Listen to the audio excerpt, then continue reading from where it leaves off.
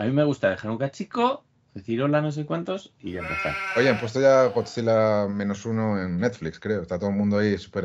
Sí, pero no lo tengo. No tengo Netflix. Ah, te has quitado Netflix, sí. Sí, yo tampoco lo Me tengo. Netflix porque no me lo dejaba compartir. Yo igual. Que era de, eh, cabrones, os estoy pagando, no sé si eran 22 euros al mes para que, para que ahora me vengas a decir que no lo puedo compartir con quien me dé la gana. Pues mira, me parece un poco feo. Y, y, eh, de vez en cuando te puedes coger el primer mes, que son unos 5 o 6 euros. En un mes te lo ves todo, pu, pu, pu, y ya está. ¿Qué, mm, ¿Qué te iba a decir? ¿A qué estoy? Estoy haciendo sudokus como si no hubiera mañana. Ah, muy bien. Y me parece, eh, vamos, una manera casi de, de, de- ¿cómo sería? Eh, de relajación, de meditación, sobre todo porque tiene eh, una parte filosófica en la que eh, dices, estos siempre tienen solución, aunque no la veas, y que una vez la ves era evidente, y que, y que hace una distinción extraña entre, entre lo posible y lo probable que me encanta. Eh, eh, ¿Has hecho sudokus alguna vez? No. Bueno, pues ya sabes que tú tienes que colocar los numeritos y no sé cuántos, hay una serie de reglas. Y una de ellas, y hay veces que dices, mira, eh, colocar el 4 aquí hay dos posibilidades. Tienes un 50%, pero que tengas un 50%, que es el máximo, de que algo sea, sea lo correcto, no, no, es, no es razón suficiente para que sea correcto. O sea, puedes tenerlo en otro que en esa misma fila hay siete más, puede perfectamente. O sea, lo posible y, y lo probable son dos cosas diferentes. Y, y- y tiene una parte ahí de, de aprendizaje espiritual muy graciosa. ¿Y qué más? Y nada, estoy ahí con mis dos proyectitos, eh, un poco en compás de espera. Y que ya me va bien. Y preparando el verano. Preparando el verano, muy guay. Y preparando a ver si nos vamos a, a la Comic Con de. Nueva York, que es la más guay de americana. Ah, ¿Tú a esa no has estado nunca? ¿O no has estado en la última década? ¿Perdona? ¿En, en la, en la de Nueva York? Eh, no, hace, solo he estado una vez hace un montón de años, en 2009. Cuando hacías Speedy, ¿no? Sí, se anunció mientras estaba allí. Eh, Pero ahí nadie te pagó nada, ¿no? Eh, no. No, espera. eh, iba también a una. Como estaba de exclusiva con Marvel, iba también a una cosa. ¿Cómo se llama? Como un rollo de estos de, de- de reuniones que hacían en la oficina con otros eh, dibujantes que estaban en exclusiva recientemente. Joder, Y creo que me pagaron me algo. a eso, pero, que- pero nunca me nunca pillé. Es una de esas cosas que hacen que eh, la teoría es maravillosa, pero dices, a ver, hemos estado aquí, hemos hablado de cosas maravillosas, interesantes y de- básicamente de narrativa, de storytelling, o sea, de, y lo daban Klaus Jansson y Howard Shaking. Y luego se pasó un día eh, Romita Jr. y Alex Malef. Bueno, guay. Eh, Fascinante, o sea, increíble. Mm. Y luego tú miras los cómics y dices, ¿dónde está esto que, que hablábamos? ¿Por qué no, por qué, por qué no se ha venido, Oh, por qué no han venido al, al entrenamiento los editores? Yo me acuerdo eh, en, una, en una de mis últimas eh, visitas de- trabajando en, en DC que, que estábamos ahí de chill y, y los asistentes dijeron, "Oye, nos vamos que tenemos un, un- una formación con, con escritores. Que era de, bueno, pues van a venir los escritores y te van a explicar cómo se escriben los tebeos para que luego tú puedas decirle a la gente las cosas. Muy bien. Pero claro, estamos hablando de otra época. Ya, no sé, supongo que todo esto es, mm, al final eh, viene del mismo sitio, de, cor- de recortes de presupuesto y empiezan a cortar por donde creen que, que no hace falta y Esto tal. no, esto no importa. O sea que, mm, que eso. Eh, bueno, eh, hola dibujantes. ¿Qué tal? Hola, dibujantes, ¿qué tal? Eh, hola David La Fuente. Hola, David López, ¿cómo estás? Eh, razonablemente bien. Razonablemente bien tengo ahí la, la, la, la preocupación de la- del auge del fascismo en Europa, porque tenemos elecciones y, y claro, ahí está el fascio dándolo todo, eh, que ya es como... ¿has- ¿Tú has visto la película Cabaret? Cabaret, esta es la de Liza Minnelli. Eh, no, no la he visto, ¿no? Muy buena, muy buena. Trata exactamente de eso. Y, y nada, ayer, ayer, antes de ayer, pues llegó un nazi y le pegó una hostia a un, a un cómico eh, en su puesto de trabajo. Y dices, hostia. Y, y este señor pues dijo, "Pf, paso de follones, eh, me disculpo porque había hecho un, un chiste, una gracieta, y al otro le había parecido muy mal y había ido a su puesto de trabajo a pegarle una hostia. Y dijo, oye, me disculpo. Y me quedo con la hostia. Y no denunció ni nada. Y dices, mira, te entiendo. Porque sopesas y dices, ¿qué hago? ¿Me voy a meter de juicios con este animal? Pues mira, me la enfundo, paso una mala semana y continúo con mi vida, porque como dice mi madre, de juicios te veas aunque los ganes. Eh, pero ¿qué pasa? Que al final, pues esta gente es la que acaba eh, aprovechándose de esto. En otro orden de cosas, estoy muy contento, estoy muy contento por nuestros eh, amigos mexicanos porque tienen nueva presidenta, que se llama Claudia Sheinbaum. Voy a citar una cosa que leí ayer que me hizo mucha gracia. En México eligieron una presidente mujer de izquierda, científica, que sí es doctora, tiene un Nobel, combate el cambio climático y tiene un perro vivo. Y hasta aquí mi chiste contra los argentinos. Hostia, es verdad, me- he tardado un segundo. Pero bueno, eh, No. ya está, ya está. eh, es- también, según tengo entendido, es una obligación. No. Venga, va. Ah, sí, me casa, es una obligación en tu casa. Es, es una obligación, igual que los europeos tenemos la obligación de meternos con los franceses, los, los latinoamericanos tienen la obligación de meterse con los argentinos. Esto es un deber cívico. Pero bueno, eh, El otro día estuve mirando las cifras de, de- de nuestro santo canal em, y, y viendo, eh, me parece muy curioso em, eh, ver de dónde ven, eh, desde dónde nos ven. Em, mayoría de gente de España, Sí. pero después eh, México, Argentina y Chile son la- el mayor número de, de espectadores que tenemos. Muchas gracias. Muchas gracias. Y luego hay, hay gente que... mm, Colombia, Sí, sí, por supuesto. Em, em, eh, Latino- un, un montón de, de gente de Latinoamérica nos ve, me, me- me- me maravilla, me alegra mucho. Pero luego, lo que yo creo que es gente que está de vacaciones en algún sitio y, y se lleva pues el portátil o el iPad o algo y, y- y dice, está en el baño y dice, joder, ¿qué voy a ver? A los totos estos de, de streaming de dibujantes. Y dices, a ver, tengo una, una visita de Kazajstán. O- hostia. ¡Qué maravilla! ¿Qué haces en ¿Sabes que- Kazajstán viendo streaming de dibujantes? A mí me parece muy bien que me, que me, que me lean mis tebeos en el baño. Me parece, o sea, un honor.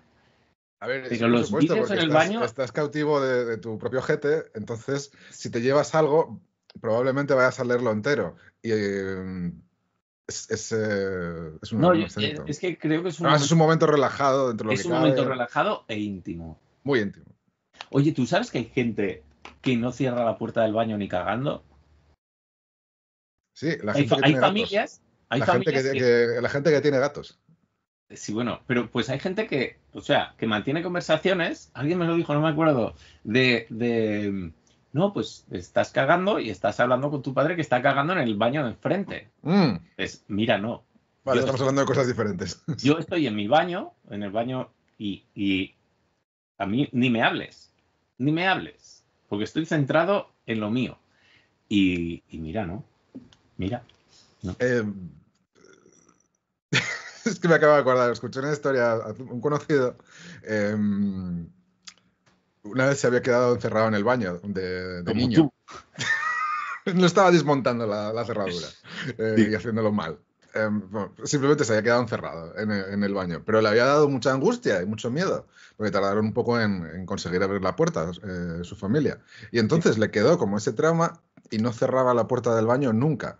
Claro, de repente cuando eh, Cuando empiezas a eh, pareja, no, empiezas compartir piso con, con- No, porque la pareja es, es diferente. O sea, al, al final estar en, estar en pareja...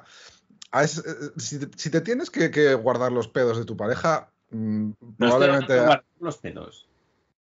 Estoy hablando de... Tenemos que traer de vuelta el reloj de ajedrez. Em, lo que quiero decir es que hay una intimidad especial entre que, que, no hay cuando compartes piso o algo así.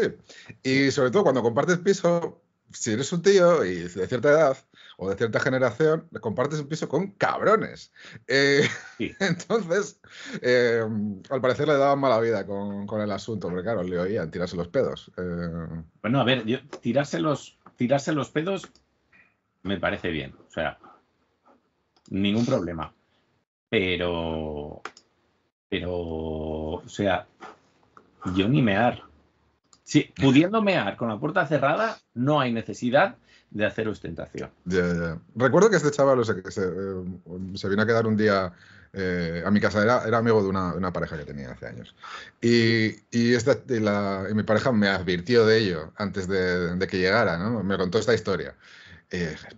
Imposible, no, no va a hacer eso, ni de coña y tal. Y bueno, o sea, evidentemente en casa ajena, o sea, está de un fin de semana ahí de, de, visita, nada, no, ni de coña. Y, y ella sabe, como, ya, vale, ok. Hmm. Eso dices tú. Y ocurrió. A mí me parecería una falta de respeto importante. O sea, si venís a mi casa, mmm, haced las cosas con la puerta cerrada. O sea, eh, yo no tengo problema, no tengo ningún problema con que tú estás en la puerta cerrada y se oyen unos pedos ahí como, como la tormenta del fin del mundo. se oye caer el, zurullo ahí. Y, y, y, al salir se queda un aroma espantoso. O sea, cero problema con eso. Porque eso es. Guerra bacteriológica también. Pero, o sea, ciertamente, me da igual. Me da igual. O sea, porque es, es lo normal que puedes hacer ahí. Pero ¿qué pasa? Que si me, si me puedes quitar una parte del proceso, más luego que si estás cagando con la puerta abierta, aquello va saliendo. Va saliendo y te apesta toda la casa. Pues, pues no. No. Te he puesto el reloj ya. Empezamos.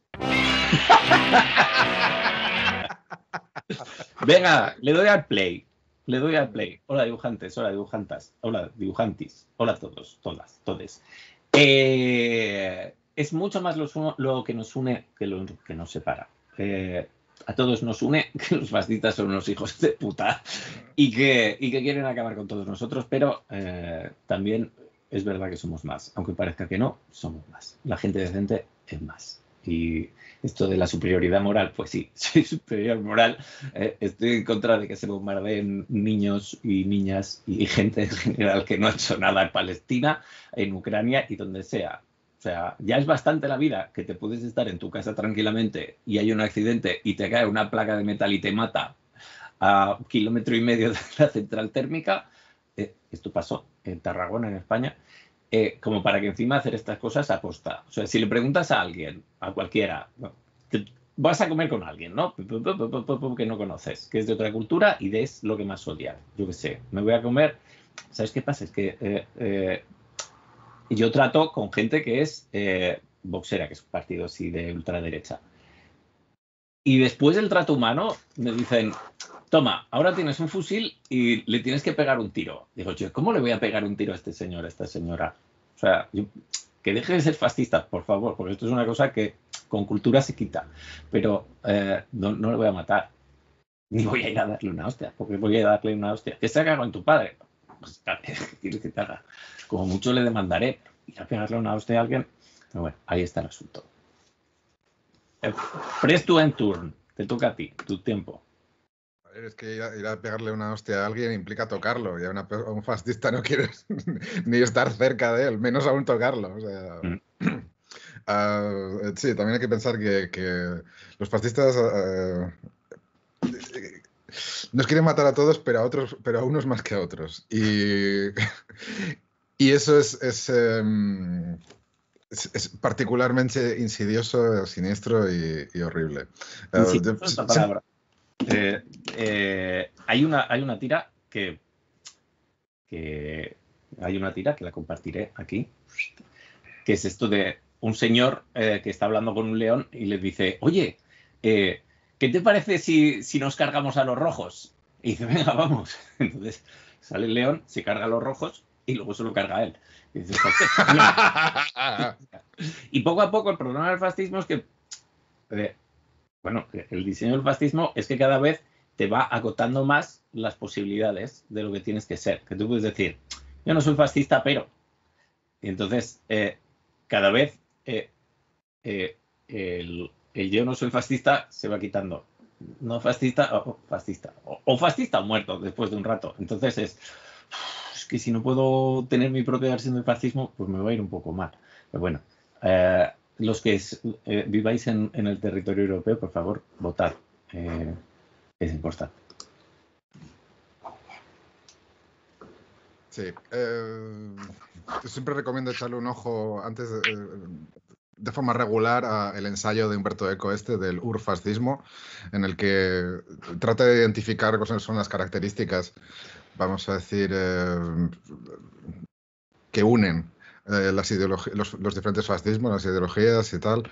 Y mm, cuando lo ves escrito y bien escrito eh, por una persona que domina el lenguaje tan tanto oh. como Eco y tal, dices, ah, es que esto no tiene, es absurdo, es completamente absurdo, esto no, no, no va de, nada, es, eh, es, es, una locura.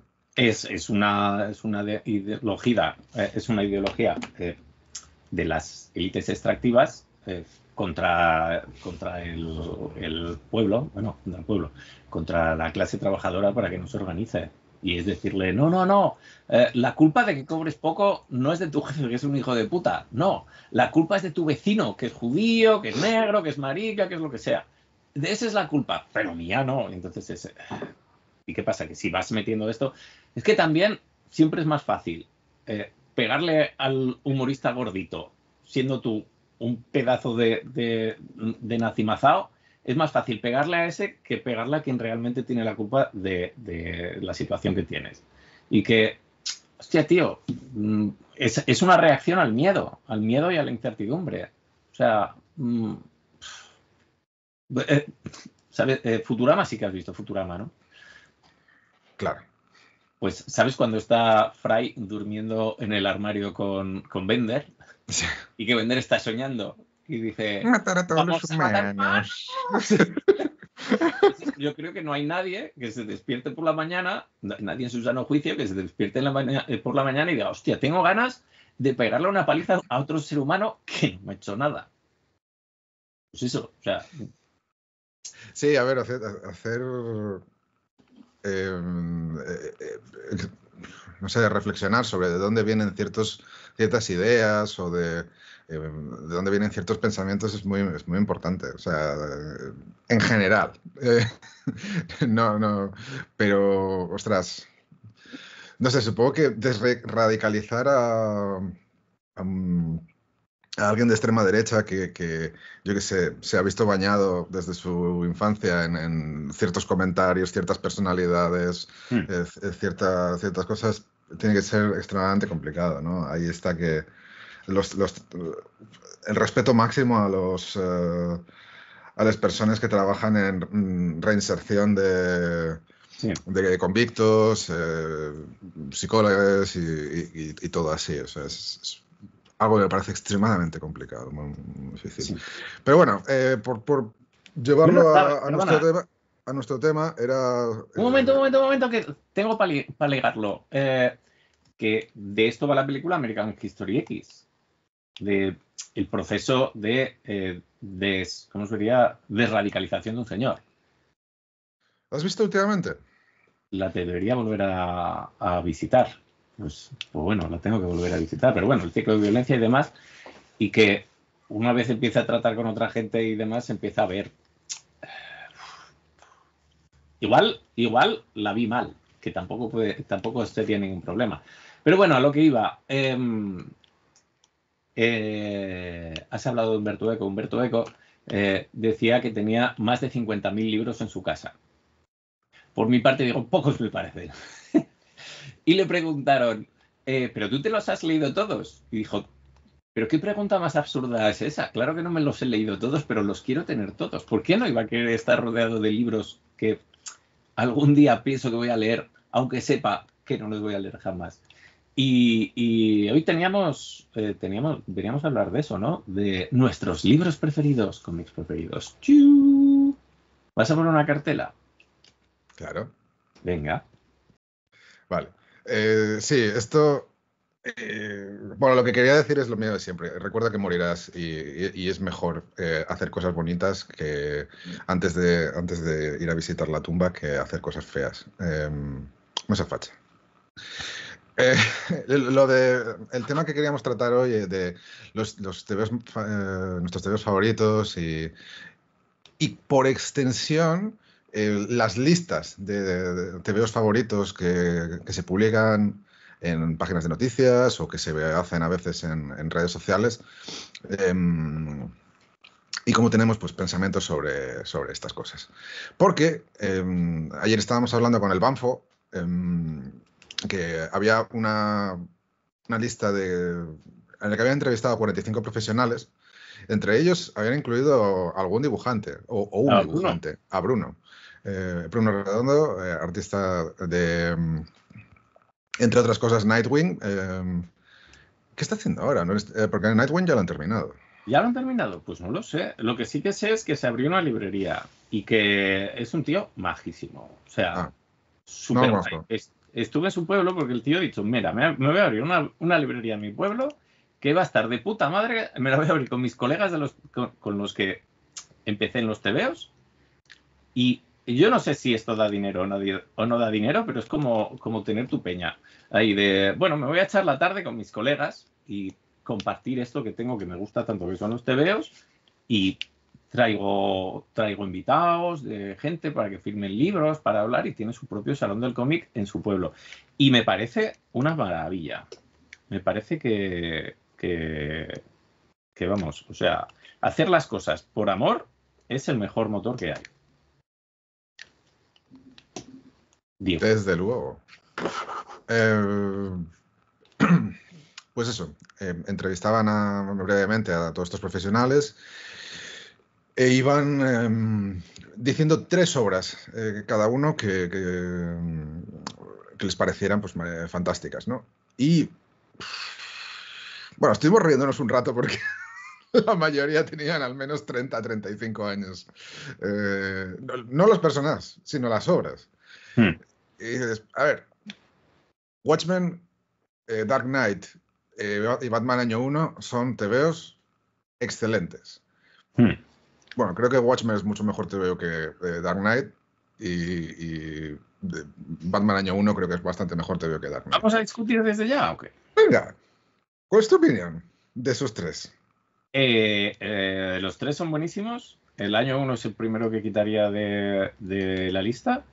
Pero, creo que el, Batman Dark Knight, sin ser yo para nada un, un forofo de Frank Miller, creo que ha afectado muchísimo más a cómo entendemos los superhéroes ahora. O sea, el, el concepto de superhéroes para mayores, creo que seguimos bebiendo todavía del Batman Dark Knight. No lo dudo, pero estoy hablando solo, no estoy hablando del impacto, estoy hablando del cómic. De tú te sientas a leer el, cómic, cuál te parece mejor, cuál te gusta más. Pues son tres cosas diferentes. Eh, me parece que eh, a nivel de oficio técnico, eh, a nivel literario, a nivel de, gráfico, me parece que Watchmen es, es superior por, por la severa atención al detalle y, lo bien construido que está. Es, un engranaje que funciona una precisión excelente, o sea, increíble. Em, y eso solo se consigue con mucho esfuerzo, mucho talento, pero sobre todo muchísimo esfuerzo. Estoy pensando en, Gibbons. Yo tuviera que... Eh, encontré el, guion de las primeras páginas de em, La broma asesina de, Moore y empecé a leerlo pensando, ¿podría enfrentarme yo como autor a este guion? La respuesta es un no categórico. O sea, es, muy duro ese, ese guion. Em, es duro porque ocurre que es un ensayo en el que ocurre que te está describiendo un cómic. Y es un cómic eh, muy bueno. La historia es muy interesante, el diálogo está, es, eh, muy preciso, pero es un ensayo también. Entonces tiene como su propia calidad literaria, como, como pieza que no se va a publicar, porque los bienes de Lamour en general no se han publicado. Creo que se han publicado los de From Hell en un libro aparte. Pero que yo sepa, no hay edición de todos los guiones de Watchmen, no hay una edición de, los guiones de Top Ten o alguna cosa de estas. ¿no? Entonces es una cosa que es muy interesante, ¿no? Es como eh, que era Wutan Clan que hizo un disco entero para un... y lo compró un millonario americano, pero no lo ha escuchado nadie más que esa persona. El otro día, el otro día salió noticia de que iban a hacer una, una escucha de ese disco. Hmm. Sí, que era como de. El día no sé cuántos, en vez de un concierto, eh, te ponen el disco de Butan Clan. Ni tan mal. A ver, es otra forma de entender el arte, ¿no? Porque. Y, también es, es, entendible de alguna forma. Plantéate ser un escritor. Em, estás, la historia en tu cabeza ya está construida, o en tu cabeza, o en, esbozos de, guion, lo que eh, perdón, de, prosa, pero tienes que, transformar eso en un guion para que vaya más, más formal, para que vaya al, dibujante. Hmm. Y empieza a fluir de cierta forma en tu cabeza. ¿Por qué vas a, detenerte si, si entra, si las palabras están, están, saliendo de una forma. Bueno, la respuesta es, te tienes que, tienes que detener ese flujo tan, eh, artístico porque, ¿cómo se dice? Porque estás haciendo teorías de superhéroes y, eh, se trabaja de una forma más improvisada. Eh, es, más... Pues no estoy de acuerdo en por qué detenerse y te voy a explicar la razón. Y es que... iba, iba, iba, iba, a decir que, ¿por, ¿por qué detenerse? Por o sea, pero no hacerlo está también bien porque puedes, eh, depende del proyecto, depende del colaborador, depende de, también de tu propia mm, necesidades artísticas y creativas, ¿no? O sea, es, eh, interesante. Y creo que Watchmen era precisamente una cosa que, era fuera de continuidad, que eran personajes nuevos y tal, es el, sitio adecuado para... O, también La Broma Asesina, ¿no? Un, proyecto fuera de, más o menos fuera de continuidad es el, tipo de, lugares donde eh, hacer esas cosas, ¿no? Entonces, bueno, continúa ahora, pero eh, yo, iba a, comentar sobre esos tres proyectos, pero bueno, adelante. Em, que como dibujante me gustan eh, los guiones en los que me están contando, en los que me cuenten la historia, pero que me la cuenten a mí y que me den sugerencias de cómo lo ve el guionista. Más allá de viñeta una, quiero esto y que salga esto y lo otro, lo más allá. Acepto sugerencias, pero a mí me gustan eh, los guiones. Es eh, nueva escena. Pasa esto, por esto, lo otro, lo más allá. Es importante que este personaje, eh, que esto quede claro y esto otro, ta, ta, ta. Entonces, página 13. abrimos con no sé cuándo, no sé qué. Luego viene este, habla, dice esto y dice lo otro. Me gusta eso y diálogos definitivos o sea, si me pones eh, eso y diálogos definitivos, no necesito que me digas primer plano o plano medio o que se ve no sé cuántos. O sea, porque eh, la parte de visualizar ya la sé hacer yo. Lo que, lo que quiero es que me digas por qué en tu historia o en la historia que quieres contar pasan las cosas, cuál es la razón por la que pasan las cosas. ¿Qué pasa? Que para eso necesitas saber por qué razón pasan las cosas la mayor parte de las veces en los cómics de superhéroes mensuales es de, bueno, ¿por qué, ¿por qué pasa? Pues porque hay que meter una escena de hostias y tiene que ser esta. Entonces, claro, eh, estamos hablando de, otro asunto. Y de hecho, eh, en mi proyecto americano de Creator On, que se anunciará dentro de poco, ya podré contarlo, eh, pues ahí yo tengo, tengo bastantes reuniones en las que repasamos mis layouts, o sea, me llega el guion layout, tú, tú, tú, tú, lo leemos, lo repasamos y es de, mm, es que esto, eh, yo quería decir otra cosa o quería un tono diferente para eh, este, este momento. Se cambia, tiqui, tiqui, tiqui. ¿Por qué? Porque tienen una razón de ser. No es de. No es de. Es que el traje te ha quedado raro. No. O es que los superhéroes no tienen que ir descalzos. Sí, cada uno. Pero bueno, eh, perdón, continúa, a lo tuyo. Sí, eh, claro, también es que ahí tenéis tiempo, eh, porque habéis hecho el esfuerzo de, de- de decir, vale, vamos a dedicarle el tiempo que necesita este cómic y a nivel económico, o sea, es, es muy diferente que sea un proyecto Creator Own en el que decidís tomároslo con calma y tener reuniones y todo esto, que que sea un, un cómic que está llevado por un editor sobre, ll- lleno de una carga de trabajo loca, que no ha sido entrenado y que no tiene o no quiere eh, o no sabe que hay que tomarse tiempo para, para hacer este tipo de cosas, ¿no? O un guionista que tiene va a escribir otras seis series esta, esta semana. En realidad lo que le apetece es. y, eh, está, está con, la, con el dardo intentando eh, hacer Diana en Hollywood, que es lo que quieren la mitad de ellos, y la Sí. otra mitad lo que sueña. Y. eh, Es, es, eh, a veces hablamos de, de creación de, de cómics. O sea, siempre estamos hablando de creación de cómics y hay eh, tantos contextos, ¿no? Entonces es como Claro. el abstracto, el que debería ser, el que, el que nos gustaría o el que mm, eh, puede, puede co- conducir al mejor resultado. Hmm. Y luego el que. Y, y luego hay el, el- el de producción, ¿no? Eh, ma- masiva y, y ciertas cosas así. Y mm, es, es Eh, complicado. Te digo una cosa fea. Es que resulta que yo hice, yo hice un, un cómic, unas páginas, eh, guionizado por Phil Lord, el guionista de Hollywood de... creo que escribe en el Spider-Verse también. Creo que es la Lego Película, eh, la Lego Película 2, o sea... Este es el que despidieron de Han Solo, sí. Ah, sí. Sí, sí. Pues una pena porque es muy bueno, a mí me gusta. Lo que, lo que hace es todo bueno.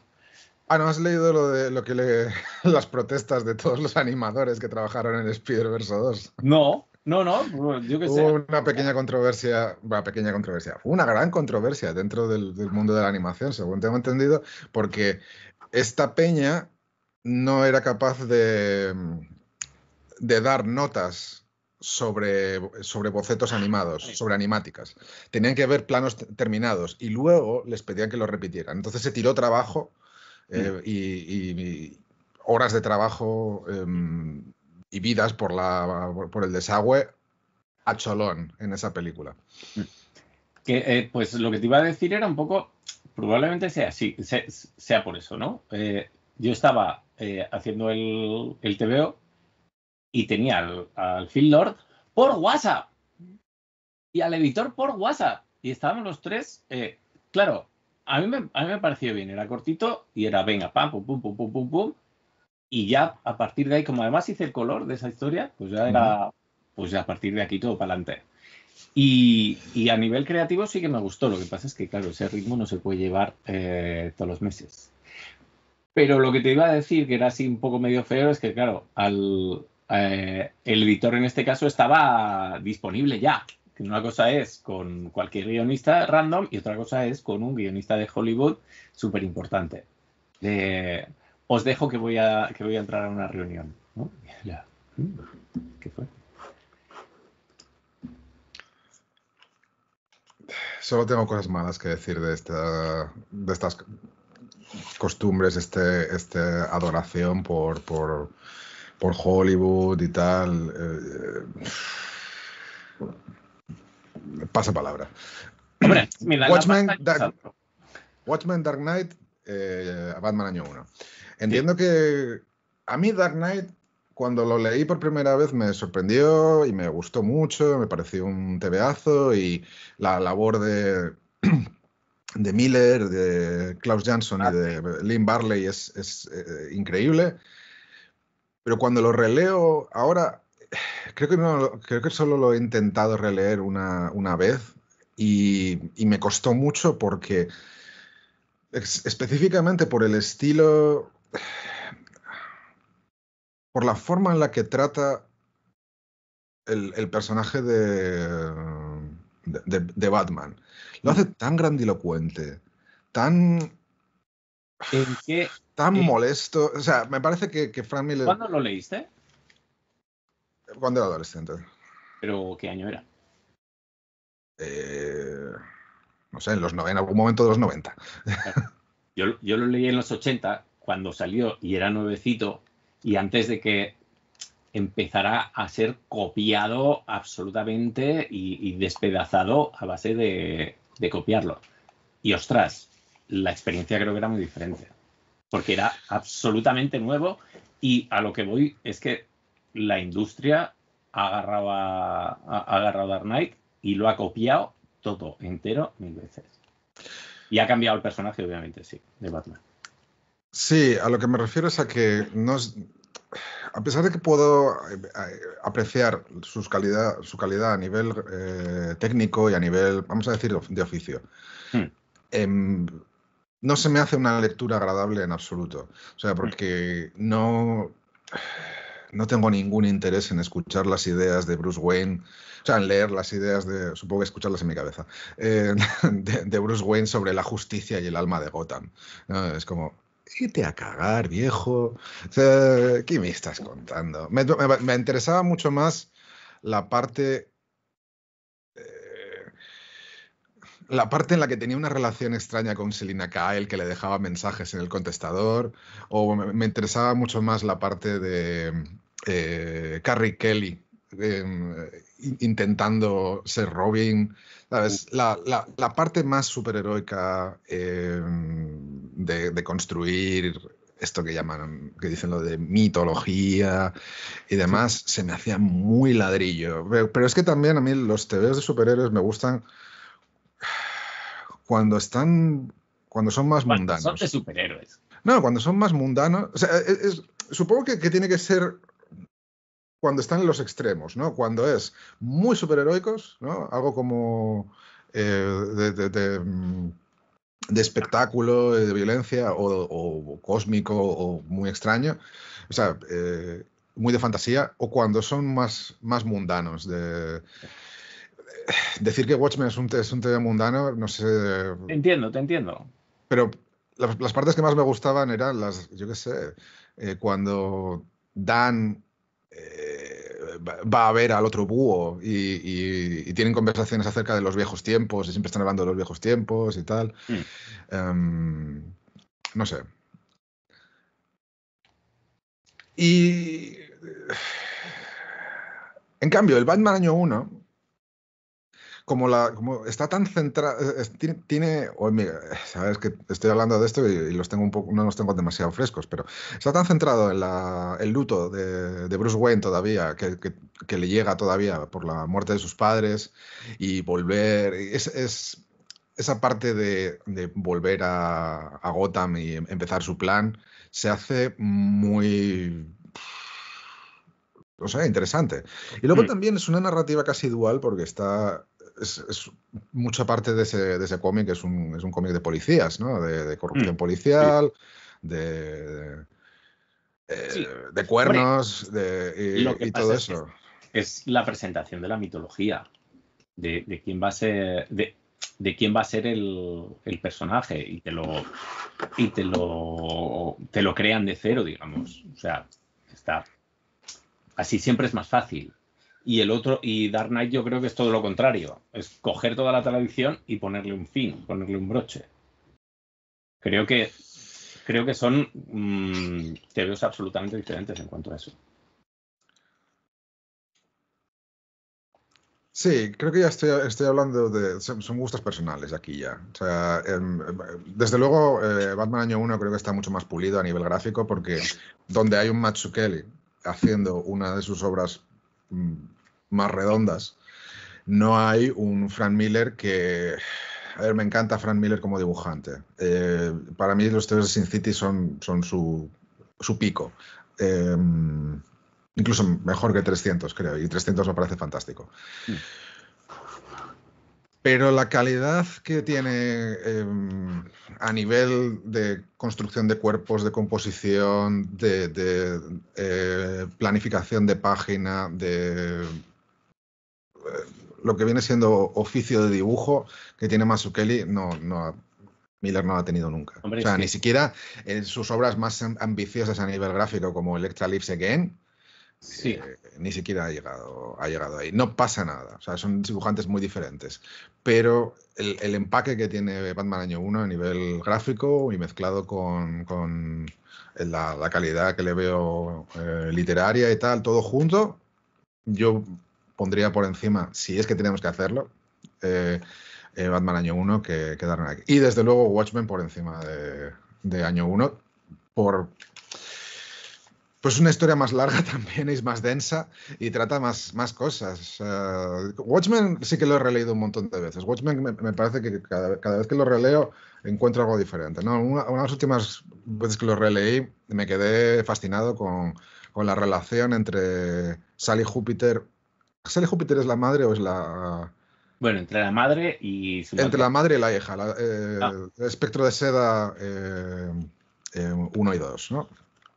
Y lo, complicada que, era y lo triste. Mm. Em, te paso un testigo.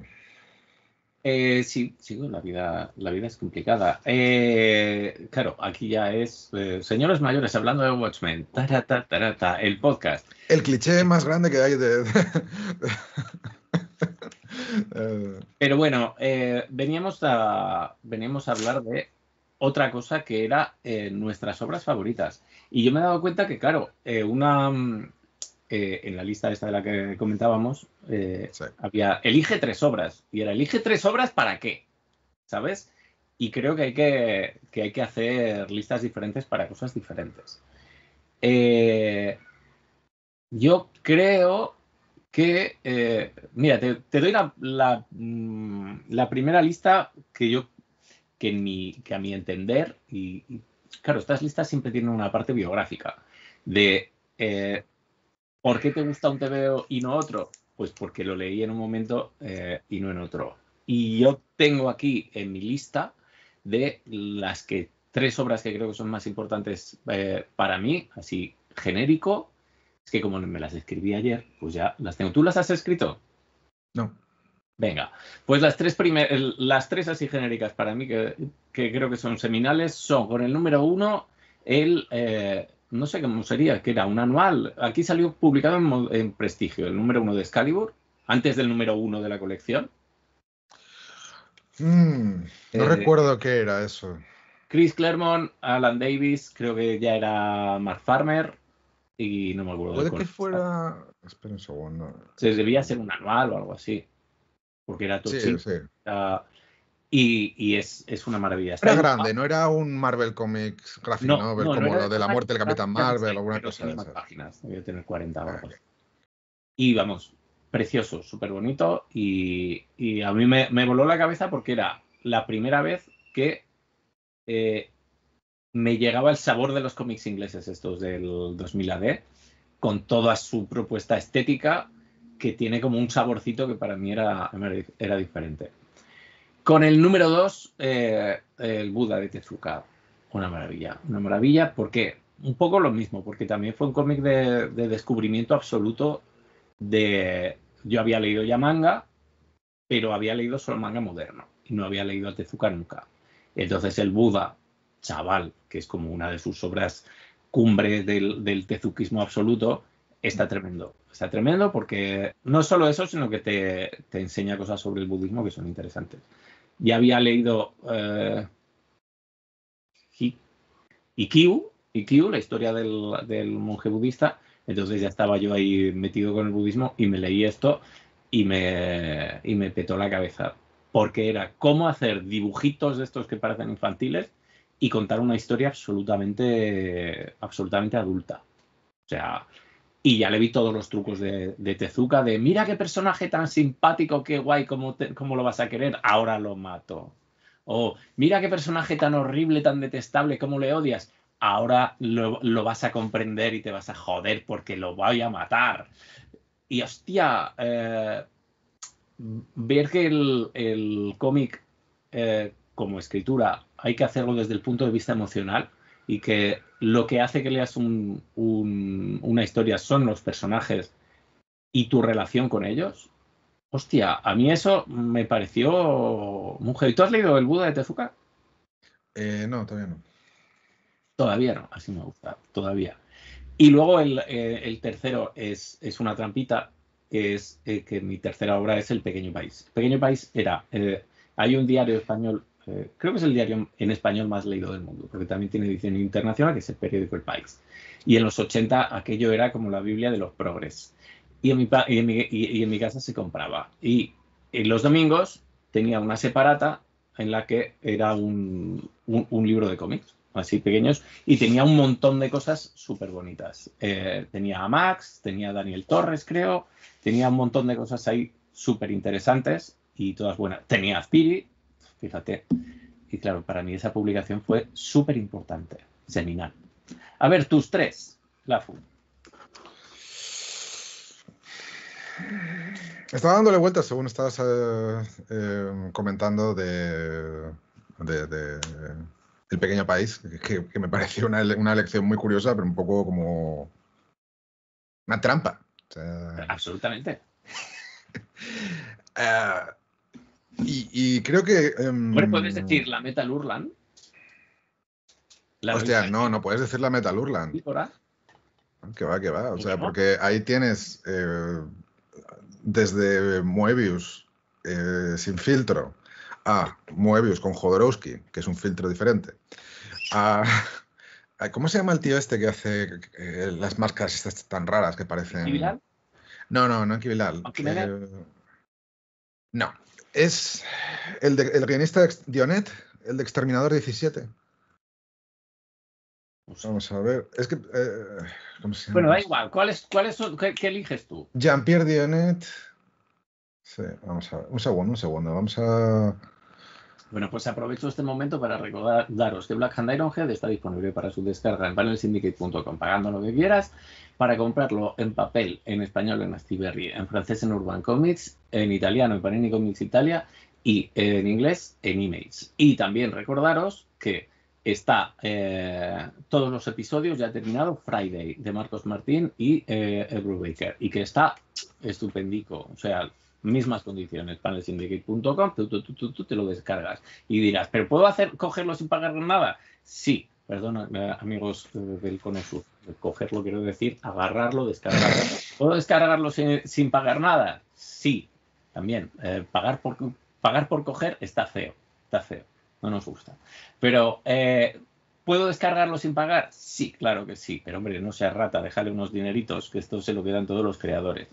Eh, también tienes a Víctor Santos, me tienes a mí, tienes a Albert Montéis con su universo, tienes ahora ya eh, un montón de autores americanos que están poniendo sus cosas allí.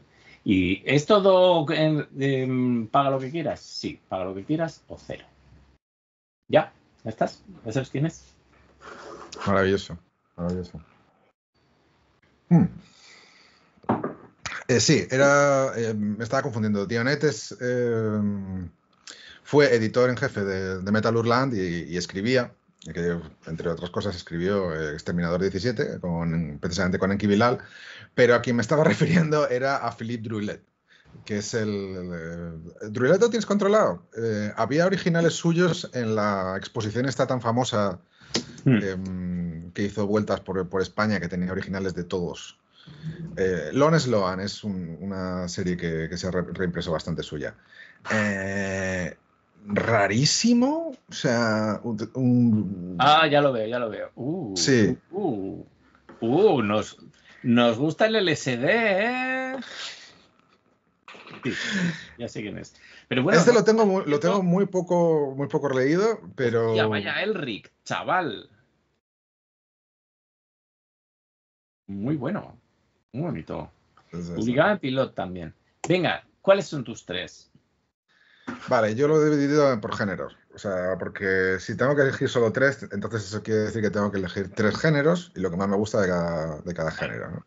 Entonces, uno tiene que ser humor. Evidentemente, si tienes que hablar de un, de que a mí me parece fantástico, de humor, hay un montón donde elegir. Pero para mí sigue siendo y, aquí vamos a hablar del de, de tema de las edades, ¿no? Eh, fundamental, Super López contra el supergrupo.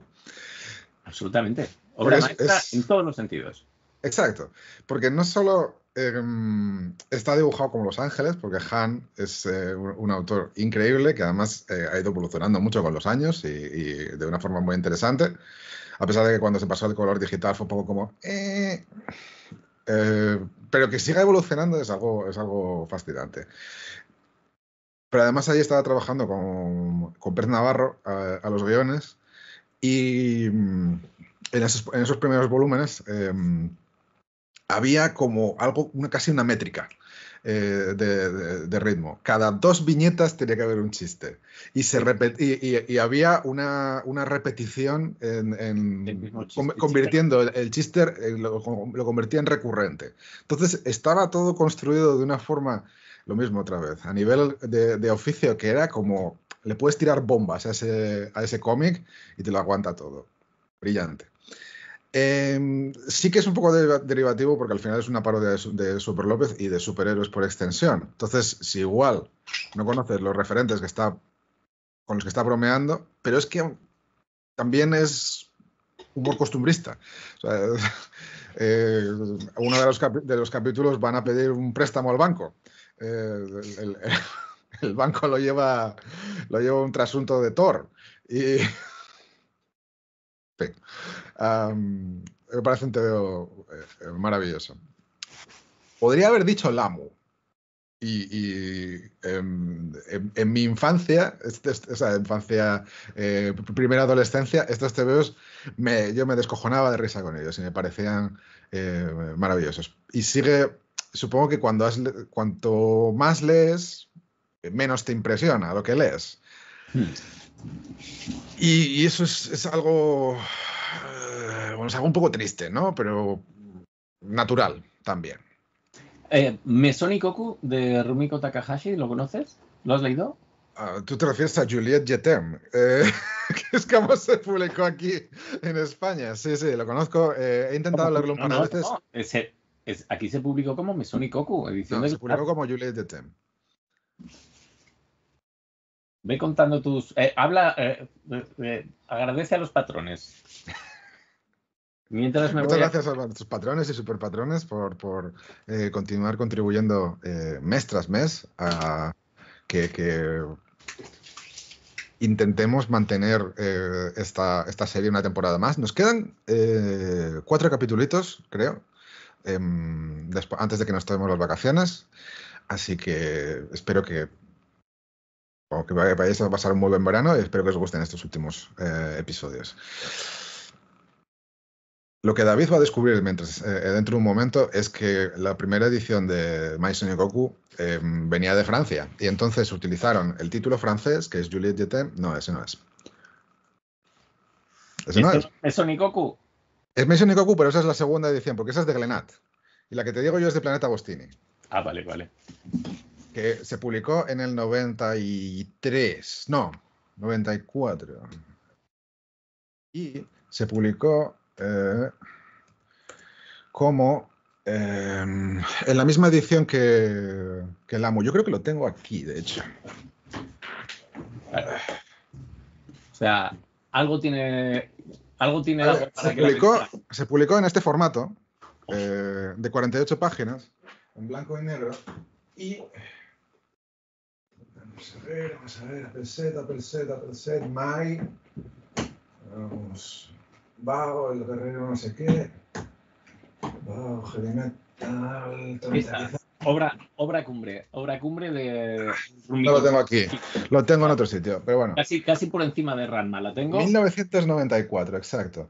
de aquella todavía no tenían los derechos directos desde eh, Japón, y estaban eh, Planeta Agostini trabajaba obteniendo los derechos de por un lado de Biz en, en, Estados Unidos, por otro lado de creo que de no espera este debe de ser publicado también por Biz porque tiene el sello de Biz Comics así que igual no estaba eh, no venía de de se lo digo no venía de, mm, de Estados Unidos. Pero la primera edición es es esa con ese título. Mira te lo voy a pasar no me parece bien te creo. ahora mismo por WhatsApp acá. Pero bueno, que leí em, unos, números de esa, primera edición cuando salió y, no me llegó porque joder, era, yo creo que era demasiado joven. Y luego, cuando salió la edición de Glena, ya con el título original de Mason y Goku, em, lo intenté también, pero no, me llegó. A mí, eh, de Rumiko es, es Lamu y Ranma. Pues es que eh, lo que es una maravilla de esto son 10 tomos así de tochos y tiene un número bastante limitado de secundarios. Ya como al tercer o cuarto tomo, con esta típica cadencia del, manga de cada después de cada arco te meto un nuevo un nuevo secundario, pero llega un momento en el que con la misma premisa, las mismas piezas, empieza a hacer combinaciones imposibles, despatarrantes y que junta amor y humor y conseguir ser una obra de las dos cosas a la vez, que es increíble. Así como eh, eh, Ranma es shonen y es shoyo a la vez, mm. que es muy complicado, esta sería, pues, eh, no sé, shoyo y, humor. Un shoyo de humor podría ser. Pero vamos, o sea, todavía tengo el... Hay un, hay un profesor de tenis que es que es graciosísimo. Está el profesor de tenis, la vecina borracha, los que viven. Bueno, pues es que es que abres y, te da la vida. Te da la vida. ¿Cuál es tu tercera? O sea, has dicho. Bueno, Super López. Super López, Lamu. No, no, o sea, eh, he dicho solo Super López, o sea, eh, como, como en la categoría de humor. En la categoría, o sea, mi segunda elección sería para el género de, acción, eh, cómic de acción. Y Aquí em, he avanzado unos años, aquí ya es en mi adolescencia. Son TVOs que me impresionaron mucho en, mi adolescencia, ¿no? Entonces, creo que sería una. Eh, un, empate entre la casta de los metabarones y. Mm, y Authority. Eh, eh, la casa de los metabarones, eh, Jodorowsky y Juan Jiménez. Eh, Juan Jiménez, eh, hablé con él sobre el tema. Le dije, bueno, ¿tú te has visto las pelis de Jodorowsky? Dice, bastante tengo con leerme sus guiones. Muy bien. sí, hay una entrevista en la que, en la que decía que, mm, que lo que hacía era como, no sé si reducir la, cantidad de viñetas o hacer la viñeta que parecía más espectacular, la más grande y tal. Y se nota, se nota porque es, es un TVO que se lee. Escribe mejor Jodorowsky cuando le dibuja a Juan Jiménez, ¿eh? Es menos pesado. Yo me, leí esa semisecuela de los Tecnopadres hmm. y que lo dibuja em, Zoran Hangetov. Eh, seguro que no lo pone ¿Ladrón? ¿Ladrón dibuja alguno, puede ser? Esa es la secuela del Incal, que se llama ah, eh, Incal Final. Em, vale, sí, ok, te creo. Te creo, te creo, te creo. Eh, la, de, la que dibuja, creo que es Zoran Hangetov. Em, lo estabas leyendo y el sabor es el mismo, ¿no? Es, esos personajes em, extraños que hablan con una, de una forma rimbombante y operática. operática. Eh, estoy traduciendo literal del inglés, qué horror. y, juegos de, como de astucia, pero, pero extraños y tal. Pero quizás Zoran lo, que hacía era contar como todos los momentos ¿no? que, que, venían en el guion y se hace menos, pues eso, espectacular, menos, menos de, acción. Es más de intriga de palacio, pero el palacio es galáctico y es extraño. Y, y eso, la casta de los metabarones es está bastante cercano a, ciertos tebeos eh, de machirulo eh, americanos, ¿no? Porque em, tiene, tiene. Las mujeres están representadas de cierta forma, están dibujadas de cierta forma. Em, eh, hay, unas batallas campales y todo esto, pero es que fue uno, los tebeos de, Juan Jiménez de, de, aquella época me parecían o sea, me, cuando empecé a leer eh, TVOs en aquella, época, estamos hablando de no, 2000, primeros 2000, Me parecían muy interesantes a nivel gráfico, pero eh, las historias de Carlos Trillo o las historias que escribía él mismo no me llegaban. O sea, mm. em, eh, yo qué sé, cuestión de tiempo, son historias cortas de viajes en el tiempo. Eh, creo que están todas escritas por Trillo. Em, no, no me decían nada. En cambio, y tampoco el Incal me, ha dicho nada, nunca he conseguido terminarlo. Me parece que no es para mí. A pesar de que es Moebius, a pesar de que... El, problema que tiene el Incal es que es Moebius y es Jodorowsky y van los dos a tope. No sé de qué, pero los dos a tope. Y entonces, es, ¿sabes aquello que dicen? No, porque el ser humano solo utiliza el 7% de su cerebro. Pues claro, porque no puedes estar cagando y corriendo y pensando en literatura a la vez, porque no es funcional. Pues en este caso es, venga, Moebius, delirio visual narrativo, cada página es una explosión. Jodorowsky, delirio narrativo que te cuento mogollón de conceptos a cada página. Pues un poco eh, eh, es complicado de leer y, mal, porque además está publicado en, en capítulos. Y hostia, es que eh, mi primer contacto con Moebius fue con una Metal Urlan española que apareció por mi casa y yo estaba pasando, ahí todo, mm, esto es raro y diferente. Y entonces me encuentro con una página de. Sale una, una escultura de una cabeza dorada, gigantesca, parlante, y todos los demás son pequeñitos.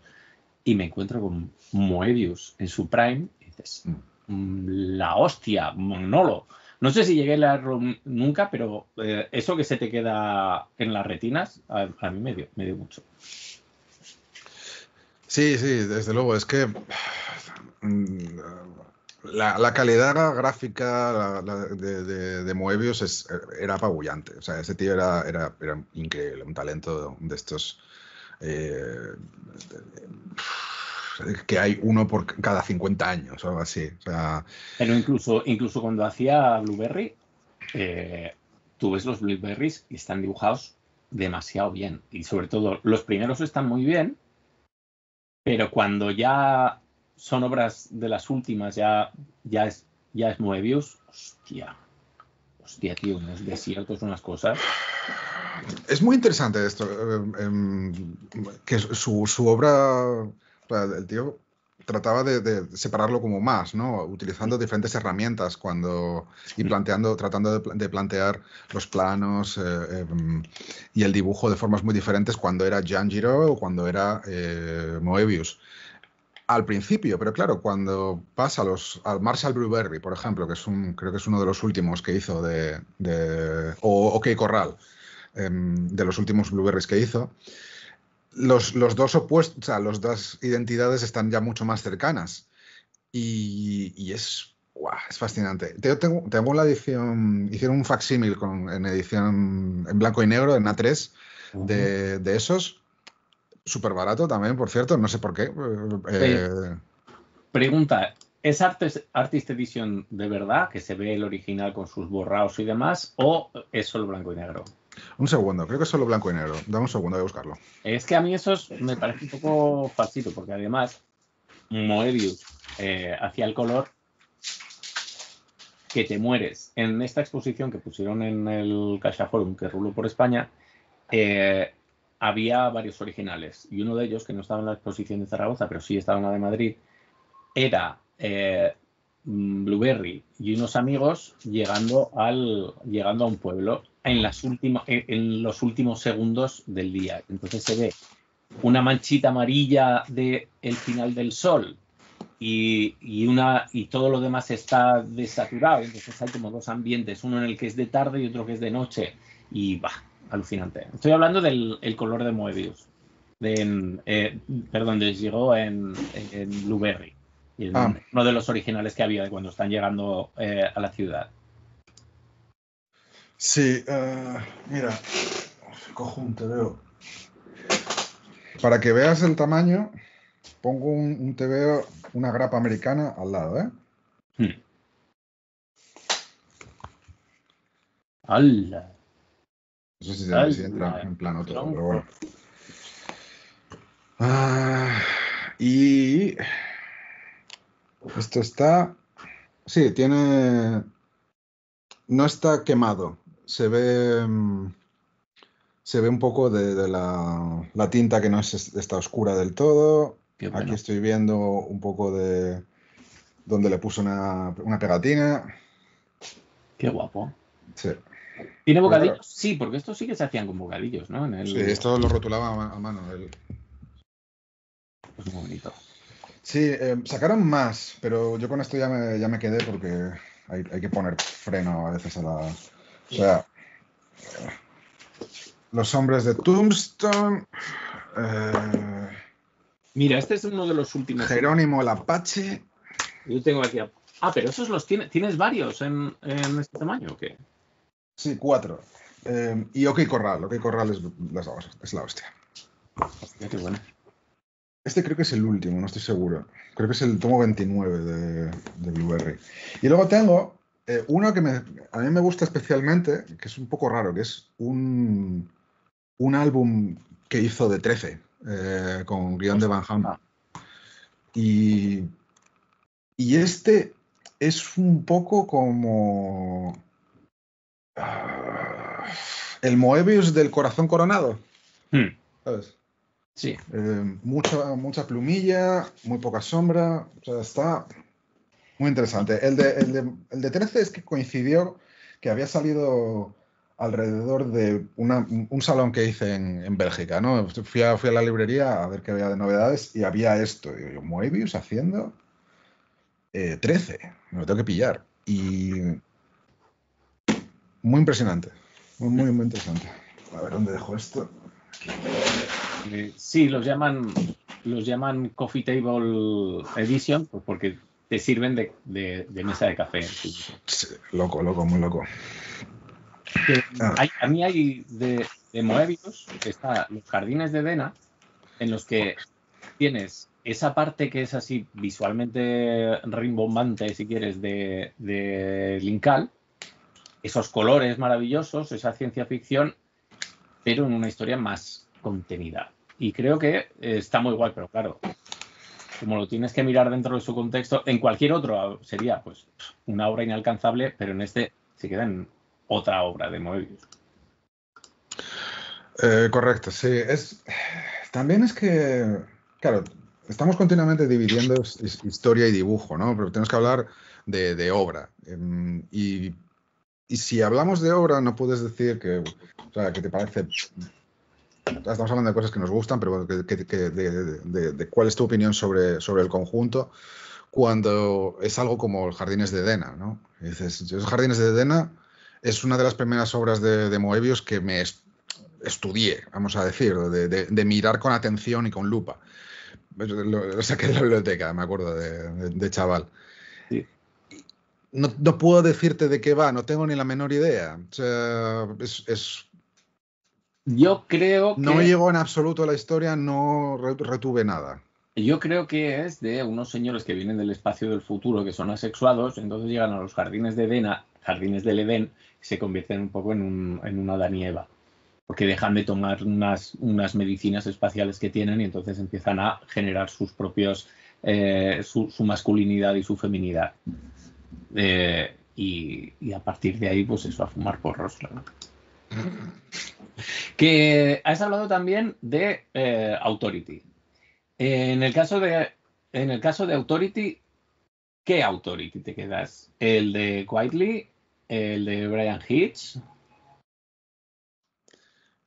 Ah, no, es el de Brian Hitch y, Warren Ellis. ¿Por qué? Porque es una obra completa. O sea, son, son tres historias de, de cuatro, doce números, pero están todos dibujados y escritos por la misma persona. O sea, eh, y esto es, esto es algo que es una regla que yo pongo para mí mismo, pero mm, si tiene feelings, no lo compro.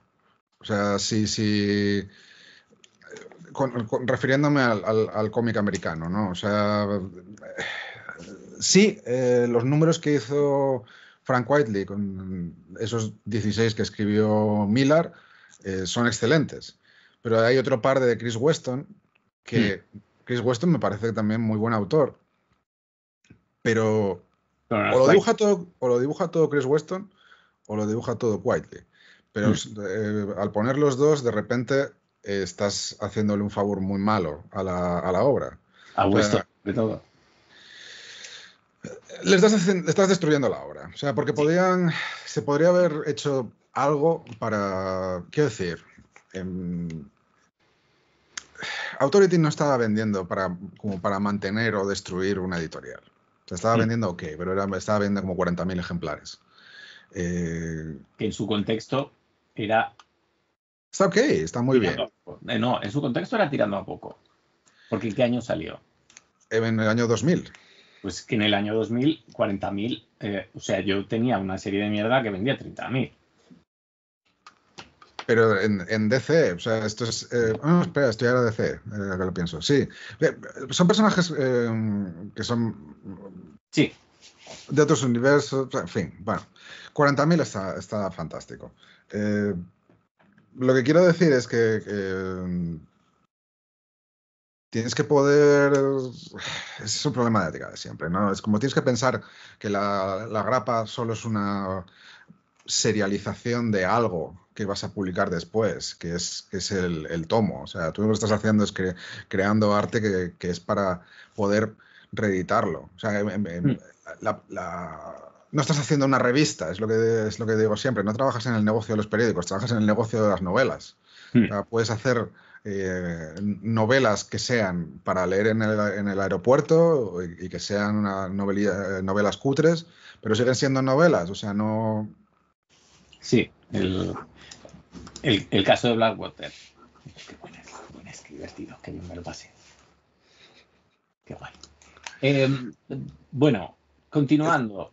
Me habías elegido de humor Super López, de, de acción americana eh, estabas entre, Los metabarones y los Authority. metabarones y Authority.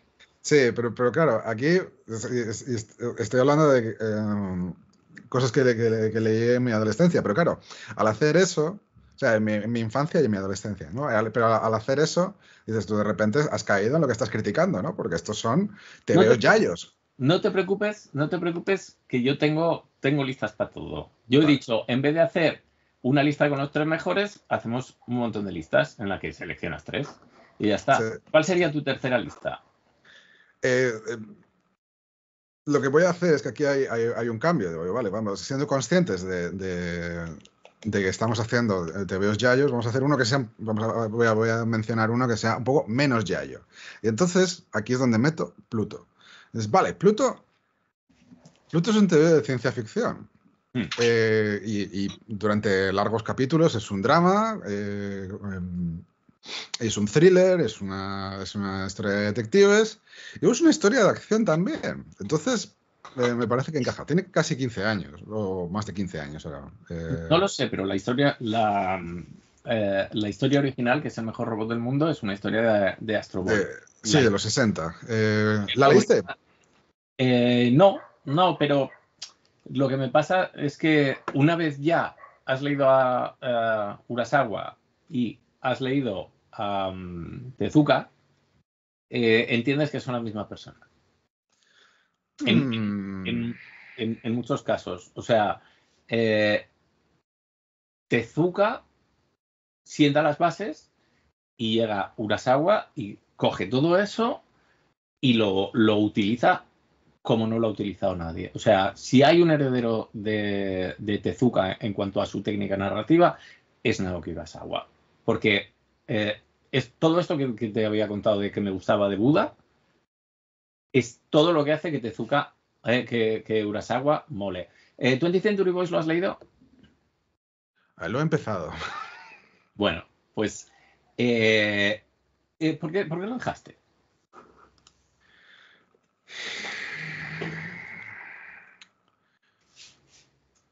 Eh, me pasa que mm, recuerdo que me estaba prometiendo cosas, pero no me las estaba dando.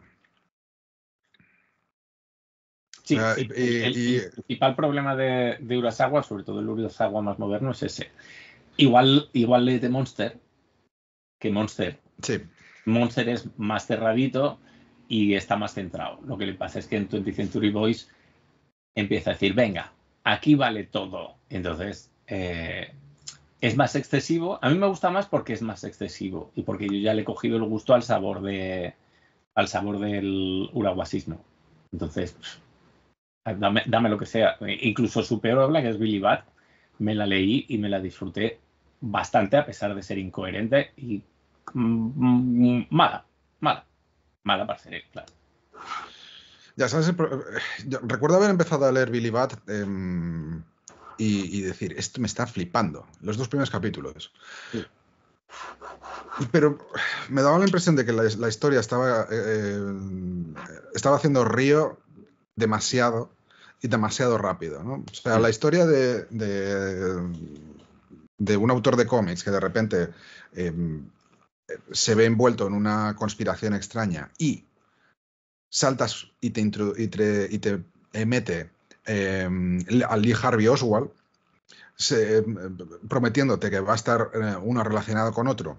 Y dices, estoy comprando esto muy fuerte. Y el siguiente capítulo te, te, te, mete otra cosa diferente. Y el siguiente te mete otra cosa diferente. Y dices tú, no, ya tenía suficiente con lo, con anterior. Si no lo vuelve. Pero vuelve... Boys, sí. Ya.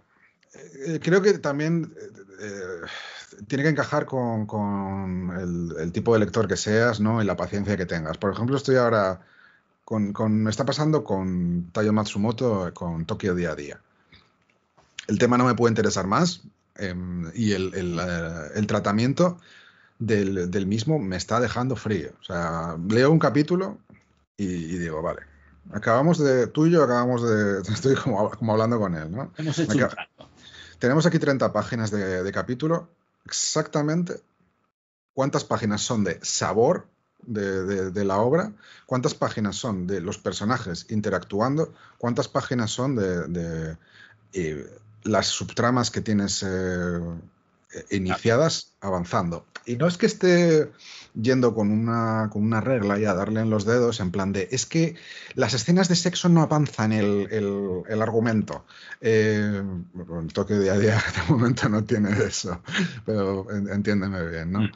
Eh, pero tampoco me está dando eh, algo y me están gustando, los personajes me pueden gustar, me pueden interesar, a pesar de que a nivel gráfico no me está llegando en absoluto. O sea, la línea áspera me gusta, pero no me gustan las composiciones, no me gusta eh, necesariamente eh, que, que, esté tan de, poco definido los, los fondos que, o sea, los escenarios que habitan los personajes y demás.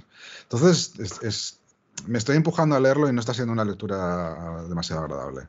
Entonces, con, con Century Boys yo creo que por eso lo abandoné, porque me estaba gustando un montón de otras cosas, ¿no? A nivel gráfico, no sé qué, este, pero no, a mí, mira, probablemente a ver si me, si me busco una, un momento idóneo. Lo ideal sería tenerlo ahí en un formato digital para poder llevármelo de viaje y decir, me voy a pasar el jet lag, trae para acá y leértelo a dolor, a dolor, pues porque a, a, mí me gustó mucho, lo disfruté, además lo, lo leí mientras iba saliendo y estaba guay. Entonces, hemos quedado que eh, con el número uno, eh, eh, bueno, en la primera categoría te quedabas con Super López, en la segunda tenías ahí tu... tu Metabarones, eh, Authority Pluto. Y en, y en la tercera... Authority. La tercera es un drama, y, es, y es Tamara Drew, de, de Posy Simmons. O sea, Tamara Drew mm, me week. gusta hasta el canto del cómic. O sea, sí, sí, sí, porque... Los personajes te metes en ellos, eh, el, el, dibujo es eh, precioso, eh, valiente, o sea, en cuanto a ambicioso.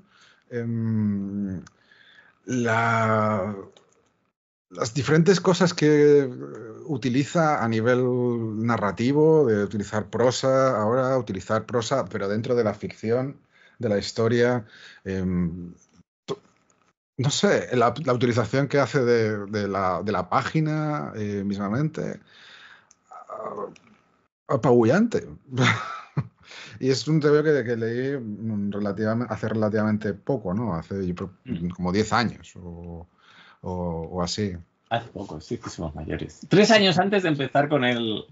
Tres años antes de empezar con este canal. Este nuestro es, canal. Que mm, te iba a decir, eh, yo he hecho otra lista. Ya quitando esta así genérica, de eh, los TVOs que más has copiado. Y esto eh, me he dado cuenta. ¿Los TVOs que más qué? De los que más has copiado, fusilado. De decir, voy a agarrar. No me gusta cuando haces esto. ¿eh?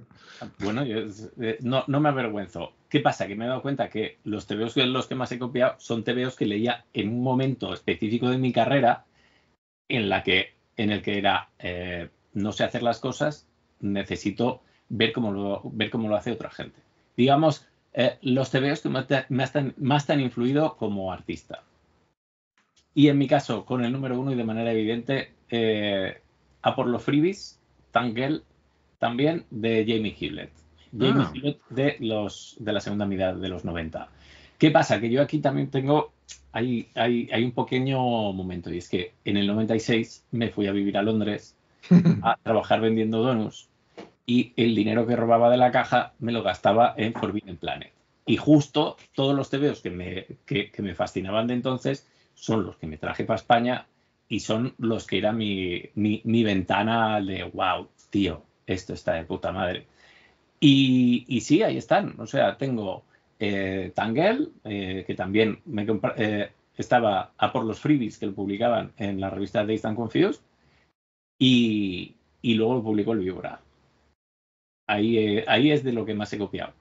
He copiado también de eh, uno de los episodios posteriores a, de, Generación X de Bachalo, uno que era como un circo, que tenía ahí las rayitas tal y cual, a mí, que, que de ahí copié mogollón el concepto de eh, utilizar todo el cómic, toda la página, para transmitir una sensación. Porque este te ponía rayitas como de circo y te las ponía en el margen, sin ningún sentido más allá del diseño gráfico.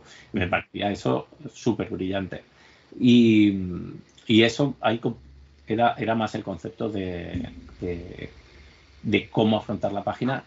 Y luego como dibujo que me parecía una maravilla, Jason Pearson en Body Bags, que tenía, había salido el número 2 en, eh, en, en aquel momento y me reventó la cabeza. Me pareció una cosa inaudita que no lo había visto nunca y que eh, para, para copiar cosas de manga siempre me ha resultado muy difícil.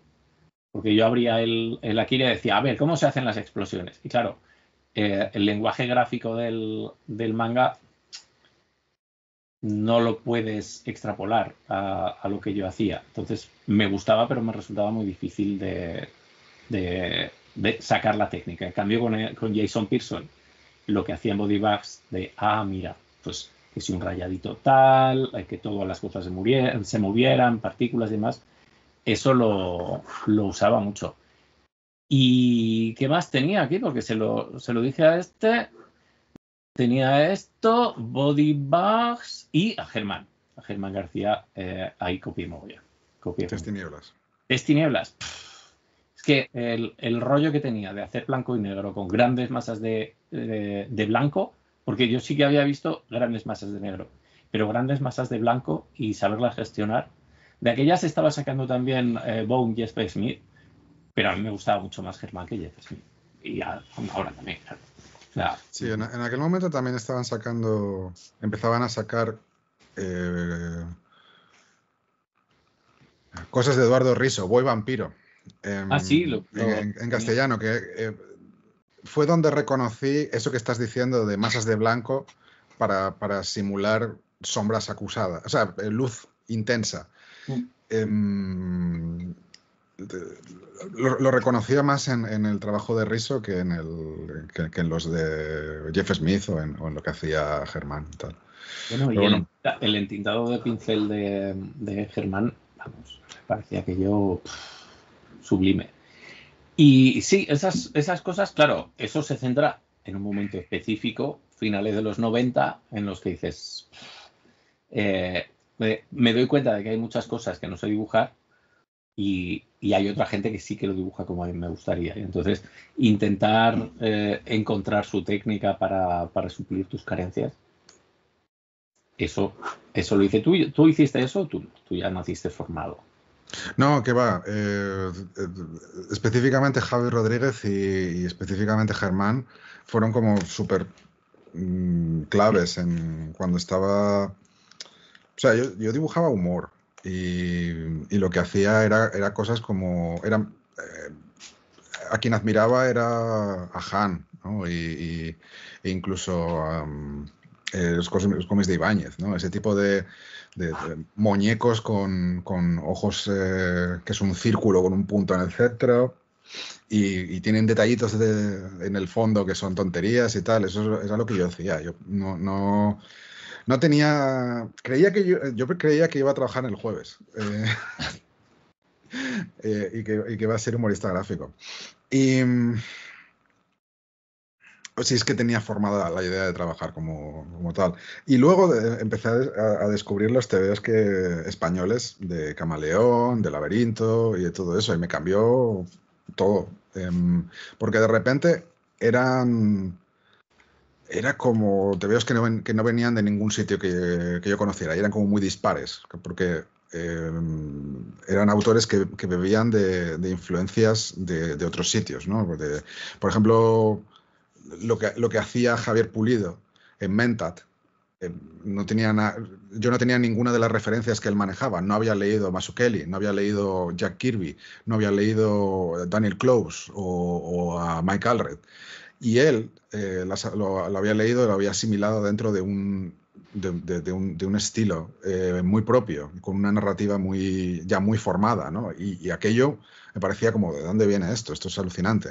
Un poco parecido con, con Germán y un poco parecido con, con eso, con, con Javi. Recuerdo que había una, viñeta de Love Gun de Javi que, ponía, esto es un homenaje a John Byrne. La primera vez que había leído la palabra John Byrne. O sea, que, no, había leído nada de John Byrne ni, ni he leído nada de John Byrne todavía. Eh, es que John Byrne me gusta muy poco. Entiendo que a la gente le guste, pero a mí me cansa sobremanera y me llama cero la atención. De, O sea, yo entiendo que supongo que es, que es todo producto de un, momento y necesitas el contexto que tenía alrededor para ver que, era una opción nueva, refrescante y, muy diferente. Pero hay autores que, y cómics que, no. O sea, Días del Futuro Pasado, que son 24 páginas. No he conseguido terminarlo. Yo, yo sí, yo X-Men, eh, toda la etapa de, de Claremont. Hostia.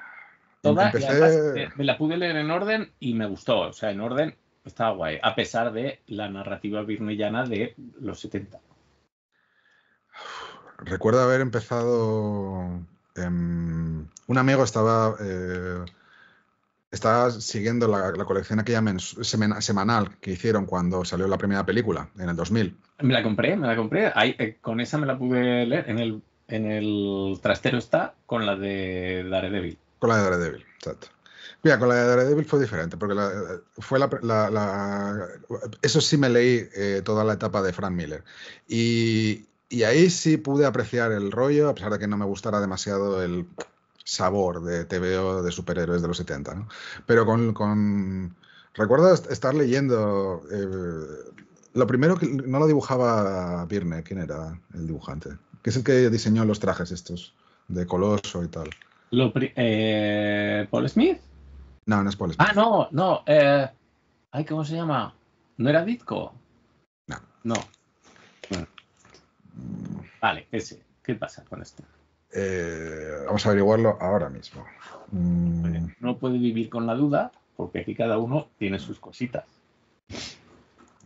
Eh, Pero bueno, eh, resumiendo, a ti todo, la, todo el ambiente de cómic español te influyó mucho y sobre todo eso, tuviste clases de Javi Rodríguez, que allí es nadie para tener clases porque sabe mogollón y, y lo explica que da gusto, y el trabajo de, de Germán también, claro. Dave Cockrum. Cockrum. Dave Cockrum. Sí, eh, pues recuerdo estar leyendo un número de Dave Cockrum y hay una viñeta en la que no está comiéndose una, una pata de jamón, una, una, cosa gigante, y diciendo, estoy, estoy muy enamorado de Jean Grey y tal y cual, en un, en un globo de pensamiento en el que pasaban otras tres cosas y había otros tres diálogos, ¿no? Eh, y dije, adiós. No es para mí. Esto, eh, hemos llegado hasta aquí. sí, pero bueno, creo que la, no sé, que, mm, esos, esos tebeos de, adolescencia o de, o de primer mm, tardo adolescencia eh, son, son, son claves, ¿no? Te, te, llegan y sobre todo el, esto no, es, no se parece a nada de lo que haya visto antes, ¿no? Esa, esa novedad puede ser muy, muy flipante. Esto no es Tintín. No, eh, Tintín todavía me sigue. Ahora me. me Tintín a, más a medida que te haces más mayor. A mí me, encantaba de niño por la, por la aventura, porque era como muy bonito, ¿no? Y tenía todo, todo estaba como muy dibujado y tal. En esos términos lo, lo disfrutaba. Y ahora cuando lo, lo, leo, o sea, estaba repasando una escena de vuelo 714 para Sydney, que era mi favorito. Eh, no sé si se lo has leído. Eh, los, leí todos en su momento, eh, pero claro, que debía tener eh, ocho años, nueve años. Sí. Este es en el que se van de vacaciones, conocen a un rico Pijales en el aeropuerto y les ofrece ir en su jet privado. El jet privado, no sé si lo secuestran o algo así. En, pero es un jet grande, ¿no? Porque hay un montón de pasajeros, ¿puede ser? Sí, sí, sí. Em, y aterrizan en una isla. Y en la isla hay unas ruinas y al final hay unos alienígenas. Eh, y aquello, no sé, eh, alucinante. Bueno, estaba, estaba releyéndolo ahora y hay una escena eh, de dos páginas o tres en las que están en el, aeropuerto, en la cafetería del aeropuerto, y el, rico les ofrece una, les invita a beber Sanicola, que es una marca de soda que de la que él es propietario. Y al capitán Haddock no le gusta nada y entonces tira el vaso en una, en una planta y unas viñetas después la planta empieza a morirse. Y tú ves que como, mientras están teniendo la conversación, la planta va muriéndose y al final de la página le cae una hoja en la cabeza al capitán Haddock, porque la planta se ha puesto eh, eh, marrón y, toda pocha. Esa escena son todo planos de perfil y están... Em, solo la variación que hay es plano medio y un plano entero. Hmm. No hay perspectiva, están sobre, creo que, creo que estaban sobre, el, sobre la línea de abajo de la, de la viñeta, del borde de la viñeta. Llega un personaje nuevo, se presenta, hay un primer plano, un plano medio, eh, pisa a Milú, hay una, el, plano general, ves que Milú eh, le, han hecho daño en la, en la, pata, pasa todo esto con la... Hay el plano detalle de cuando vacía el vaso, no sé qué, creo que son 16 viñetas. Es como un truco de magia. O sea, es como, ¿cómo haces esto? Y que funcione. Y que, que no eh, agobie, que no em, eh, sea torpe, que no... Yo, lo estaba mirando, es como, imposible. O sea, me dan a mí esto y me echo a llorar en una esquina. O sea, el, guion, no, soy capaz de, resolver esto. Increíble. Hmm. Eh, evidentemente todo esto cuando tenía ocho años pasaba por encima, ¿no? No, lo... pero fíjate simplemente que no pasaste por encima porque a ti lo que te gustaba del, humor era ese detallito, que si la rata haciendo no sé qué, que si no sé cuánto, ta, ta, ta, ahí se te quedó. Claro, eh, em, el asunto, el, por qué es tan importante estas cosas de, oficio es porque tienes, tiene que desaparecer de alguna forma el, em, el autor en la, en la, narrativa para que tú estés metido en la historia, estés pensando en los personajes, no estés pensando en, en el en tratar de descifrar qué es lo que está ocurriendo. Entonces, no sé si has visto eh, The Parallax View, eh, una película de Alan J. Pakula con... Ah, joder, ¿cómo se llama el tío este de Dick Tracy? Sí, el guapo. El guapo, el de, el de mm, Bonnie Clyde. Sí, este, este. La escena final em, es una... El tío está en, en en el techo de, un, pabellón de convenciones. Están eh, ensayando para un discurso de un político eh, que, va, a dar en el, pabellón de convenciones. Hay unas cuantas sillas pero, y hay unas, cuantas personas en las, sillas, pero la mayor parte de las sillas están vacías, ¿no? Y simplemente están probando la acústica, las luces, no sé qué. Hay un francotirador y el Dick Tracy está tratando de detener al francotirador.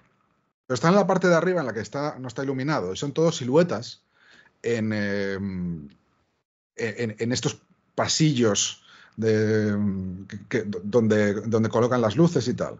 No mm. entiendes nada. No se entiende nada. A nivel fotográfico, el director de fotografía es el, mismo del padrino. Y que le gustaban mogollón las sombras y todo esto. Y, pero. Y la narrativa es muy sofisticada. Pero yo estaba ahí como. Me he perdido, tronco. O sea, entiendo que tengo que entender por la, por la silueta. El, el Dick Tracy llevaba un pelo muy, como muy cardado y tal. Y, mm. casi parecía Elmo eh, de, de, o, Disco Stu. No, Elmo de, de Tinieblas, quería decir. Ah. Y, el, y el francotirador llevaba un rifle, ¿no? Entonces por la silueta deberías distinguirlos bien, pero estaba continuamente perdido eh, en, el montaje todo eso. Y entonces ahí es cuando, les, eh, en mi opinión, ¿vale? Estoy metiéndome con Alan J. Pacula. pasa por encima de, la necesidad narrativa, de, o sea, de, la, de la claridad narrativa. Es, es, es un poco y por ahí es pasa. Creo que es un error. Es que, creo que es un error. Pero bueno. Eh, el ejemplo que, mira, voy a, voy a enlazarlo con la, con la lista que quiero que, hagamos ahora. Y es una lista de los tebeos que más te han gustado, que te parecen mejores, pero cinco años de antigüedad como máximo. Esto ya lo propuse ayer. Lo que no, no, no puse el límite. A ver, no, no y sí. pero bueno. Eh, voy a hacer una trampa. Eh, cenizas que han sacado reedición. Ah. no tenía Murderabilia porque Murderabilia me llamó mucho la atención, pero como es eh, muy viejito, me voy a quedar con alguno de Paco Roca. Casi cualquiera de los que haya sacado últimamente. La casa, los surcos del azar, ¿cómo se llama el de ahora? Este de, de hacer llorar a mayores. Esos son todos. Pues ese. Ay, ¿cómo se llama? Ahora no se queda el olvido. Bueno, pues este, de las, fosas de, los represaliados de la Guerra Civil Española. Súper bien. ¿Por qué? Pues porque sin estridencias y haciendo mucho uso de, eh, la historia, no de la narrativa, sino de la historia y del ritmo de la historia, eh, perdón, no es narrativa gráfica pura, pero sí comprender cómo funciona la paginación, qué, información meterte en cada, en cada TVO, ahí es, está, está tremendo. De cómic americano, de cómic americano es que últimamente, ups, vaya, encuentro poco. Empieza con tu número uno. Eh, mira, la forma que le va a... la forma que lo voy a relacionar va a ser con la claridad narrativa de la que estaba hablando. Eh, para mí, eh, eh, alguien que me parece un auténtico maestro en cuanto a salirse, en cuanto a planificación y, tal, dejar atrás un poco la, las estridencias y la, y la personalidad que no a, nivel, no a nivel gráfico, pero sí a nivel narrativo, para que la historia fluya lo más de forma lo más natural y, suave posible es Bastien Vives. Sé que es un pedazo de mierda, al parecer. No he leído eh, en, profundidad todo esto porque es de la blogosfera francesa y no hablo francés. Yo solo voy a, jugar ahora las obras, ¿no? Pero em, eh, obras como Una hermana, 14 em, de julio, creo que es, la de, la de los terroristas, la del policía. Vamos a, comprobarlo. Bastien, Vives.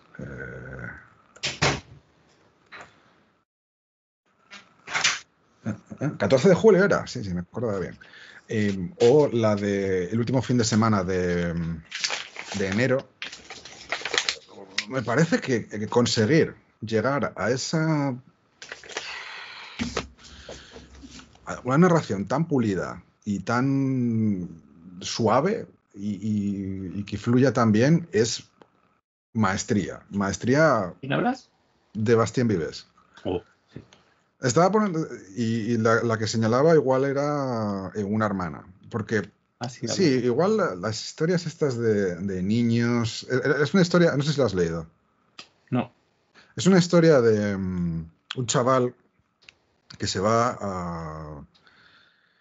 Eh, de vacaciones a un pueblo eh, en verano con sus padres y sus padres, o sea, dos, dos, parejas de dos matrimonios eh, mm. se van y uno trae a sus dos hijos, uno que tiene 10 años y uno más pequeñín que tiene como 6 o así, y el otro matrimonio trae a su hija, que es un poco mayor, que no sé si es un año mayor que, que el chaval. Y pues van de niños en, haciendo cosas de niños raras. Y hay... ¿Cosas de niños raras?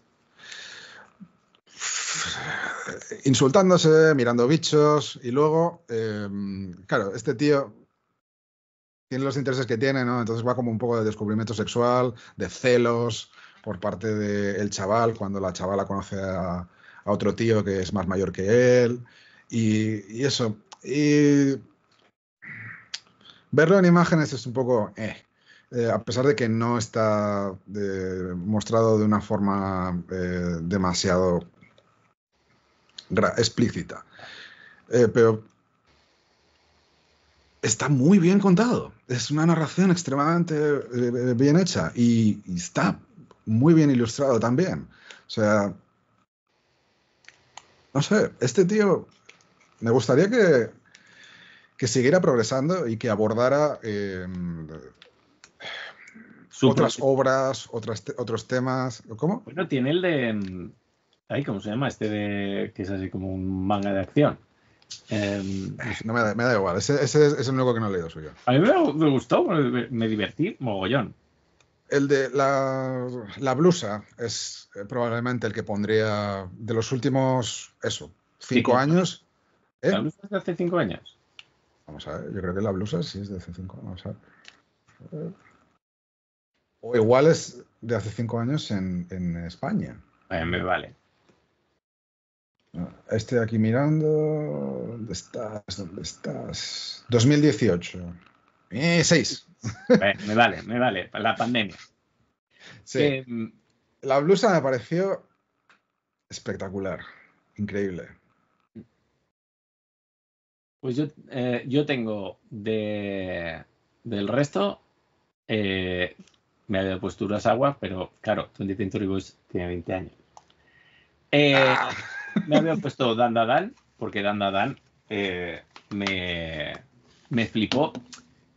Probablemente no trae nada, absolutamente nada nuevo, ninguna novedad. Al, o sea, no, no rompe con nada, pero está tan, tan, tan, tan bien hecho en un tema que está súper trillado y que es muy difícil, me parece, sí, vamos a ver, me parece que lleva al paroxismo el shonen de instituto sin salir del instituto. ¿Sabes? O sea, creo que, es una vuelta de tuerca a lo mismo que a, lo mismo de siempre. Eh, lo que ocurre es que es tan tan autoconsciente que casi resulta paródico sin ser paródico. Y hmm. pone mm, cosas que, no te tienen que gustar. O sea, aliens y fantasmas. Eh, adolescentes con sus cosas de adolescentes y pegando hostias como panes. Dibujado que te mega flipas. O sea, a mí, este tío en lo que es manga shonen eh, estrictamente, creo que lo hace mejor que nadie. Ya nos, nos decía mm, Ay, no me acuerdo. La chica esta que dibuja también eh, del manga. Que a ella le gusta el de. Eh, con Nata, sí, gracias. El de. Mm, este de My Hero Academia, que está muy bien dibujada. Lo que ocurre que es que ese me parece que eh, necesita construir una realidad nueva para contar su historia. Es la de, pues hay unos superhéroes y haces no sé qué, ¿no? Necesita lo que, lo que dice Blake Snyder, tirar cable eh, necesita tirar cable, que sepas una serie de cosas para empezar a disfrutar. Eh, Dan Dan es, pues mira, yo creo que hay fantasmas y no hay aliens, y yo creo que hay aliens y no hay fantasmas. A pegarse, y a pegarse. Eh, enemies to lovers y todo, todo, todo, todo. Muy rápido, muy bien y dibujado de flipas.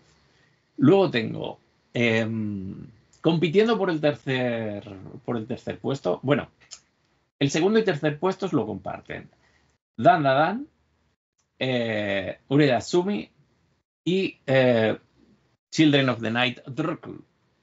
Estoy muy a fuego con este Drácula. ¿Cómo se llama? Shinichi. Sakamoto.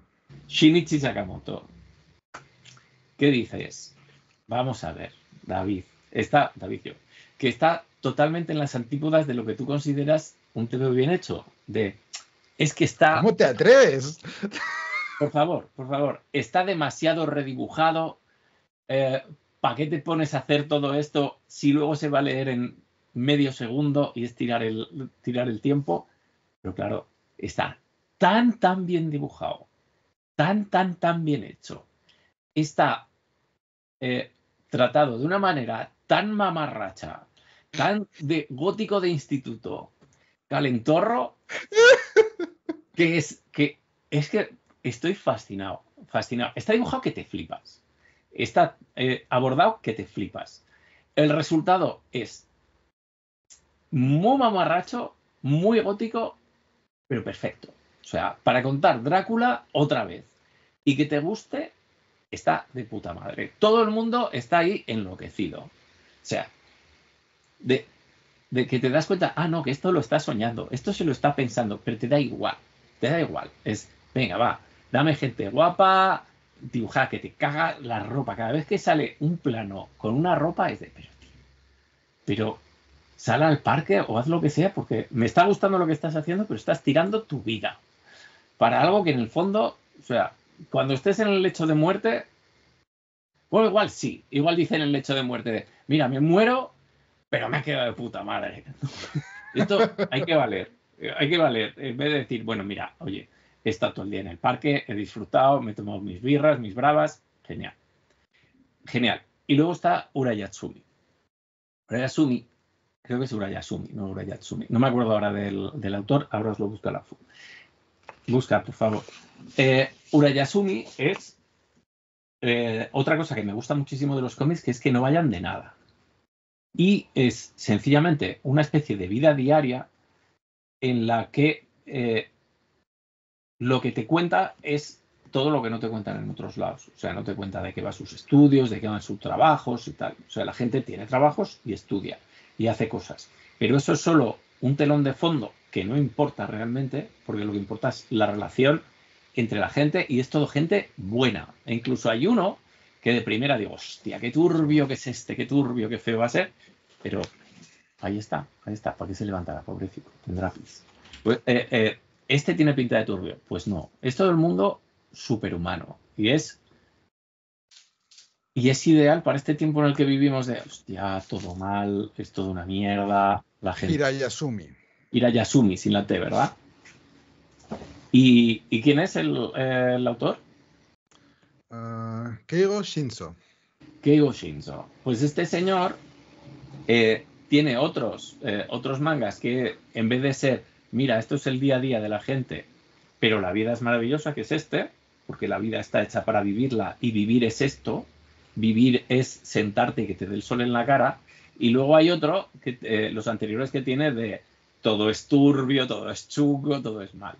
Pues eh, que una obra así le esté funcionando, le esté quedando tan bien, una obra positiva y demás, oye, me encanta. Me encanta y además me encanta esperarlo a que salga y, abrirlo con todas las ganas.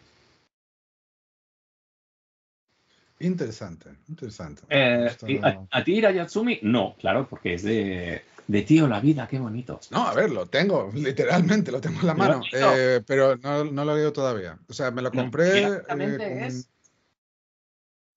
gráficamente, chaval, es, es increíble. Increíble. Está dibujado que te cagas, se entiende todo, una economía de trazos que te flipas. Para ser manga no tiene prácticamente tramas. Y, hostia, ¿cómo conseguir que todos los personajes tengan carisma y tengan algo y que sean superhumanos? En cuanto a muy humanos, eh, cuesta mogollón.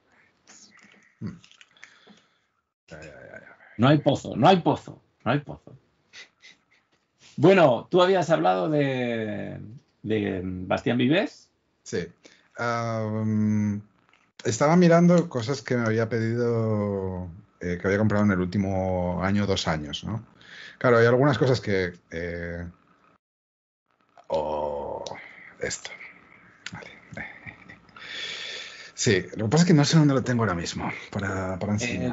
¿Cuál de todos es? ¿Es el de la mujer gigante este? Eh, ¿Es, es este de Robotech? ¿O cómo se llama? ¿Macros? no, Macros es de, los, es de los 80. Sí, pero bueno, si lo has leído ahora, a mí me, a mí me vale. Sí, a ver, no. Bueno, dibujantes. Yo estoy Macros fascinado. Dos. no, el Yo estoy pero que. un inciso, un inciso. Eh, estoy fascinado porque eh, hace semanas que la FU tiene un TVO de Lobezno enseñando culo y espalda en su mesa de dibujo. Sí, ¿sabes cuál es ese? Eh, eh, lo reconozco, pero creo que no lo he leído. Ya, es que yo tampoco lo había leído, me lo recomendó Álvaro. Es el último arco de Grant Morrison en, en X-Men. The New X-Men. Exacto. Y eh, lo Lo, habré- lo he debido leer. claro, yo no, yo no lo había leído porque yo ¿Quién lo dejé la serie eh, Mark Silvestri. Silvestre me mola. Está fantástico. Está muy, muy bien. Es que em, yo después de que lo dejara Corday, eh, yo dejé la serie. Em, de- entonces, El Jiménez no te llega.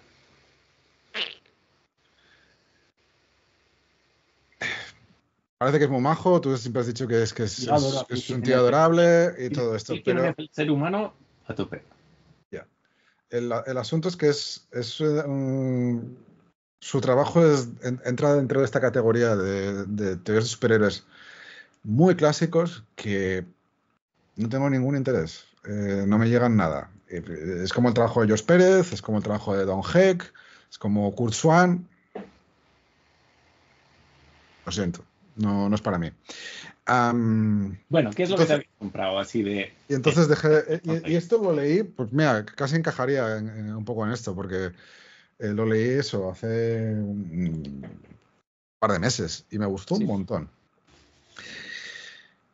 Ah, es que no sé cómo se te voy a pronunciar. Es un, es un TV japonés, pero es prácticamente mudo, eh, que se llama eh, Hiri Hiri eh, 499 humanos. Eh, esa mierda. Es que ya los, yo creo que ya te lo, te lo he mandado. Creo que es Johnny Kai y. joder, voy a buscarlo. Mira, mira. No, toma, Cuatro, te, lo, te mando, te lo mando. Es de Enomoto, el autor de Enomoto. Eh, Este manga, em, ¿te suena? Te lo, te lo he recomendado un montón de veces. ¿Cuál? Enomoto. Enomoto. Sí, es un manga que publicaron, empezaron a serializar, hace un montón de años yo compraba el Víbora mensual. Eh, Enomoto, venga. Y empezaron a, se- a serializar Enomoto, que es eh, un manga hecho por... Ya sé cuál es, creo. Sí. Su, su propio autor es Sunji Enomoto. Y es una historia de, de un- una especie como de padre de familia, son todos chistes escatológicos o eh, en- cosas ridículas. Es un estilo gráfico muy Bruto. Exacto. Y, y eso hace que parezca que, que- que, mm, la- las br- brutalidades que te está contando son más suaves y hace que sean absurdas, ¿no? Y, y me gustó mucho en, en la serialización que hicieron en el Víbora. Y luego lo sacaron, sacaron la cúpula aquí en España, sacó un tomo, que era eso, Enomoto. No debía de funcionar y no volvieron a sacar más. No se ha publicado nada más de. Espera, sí. Se publicó. Eh, Glenat publicó. No, o EDT. Enomoto. Publicaron dos volúmenes de historias cortas que se llamaban. eh, eh, lo voy a encontrar ahora mismo. Respuesta de inteligencia absurda o algo así. Eh, como digo, una antología de historias cortas. También apabullante, maravillosa, genial. Eh, mm, no puedo decir mejores cosas. Y, y lo, sigo en Twitter a, este autor, que como digo, debe de ser como minoritario allí en, en- en Japón. Y sacó un one shot de samuráis. Y vi un par de páginas. Y, eran dos samuráis de esto que los, contratan en un pueblo porque han secuestrado a una, eh, a una señora o algo así.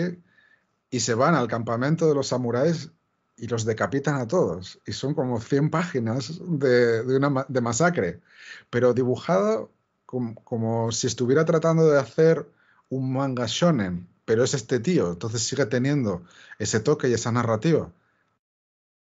Me dejó blanco, o sea, es, es increíble. Este es uno que mandaste una página que había como un montón de gente y una cuchilla que los que les decapita a todos. Eso, es una página doble con, con sí, alguien sí. pasando. Oye, voy, a, voy, a, tener que ir a, a, a, Gijón a pasarme por tu casa a, que me enseñes TVOs.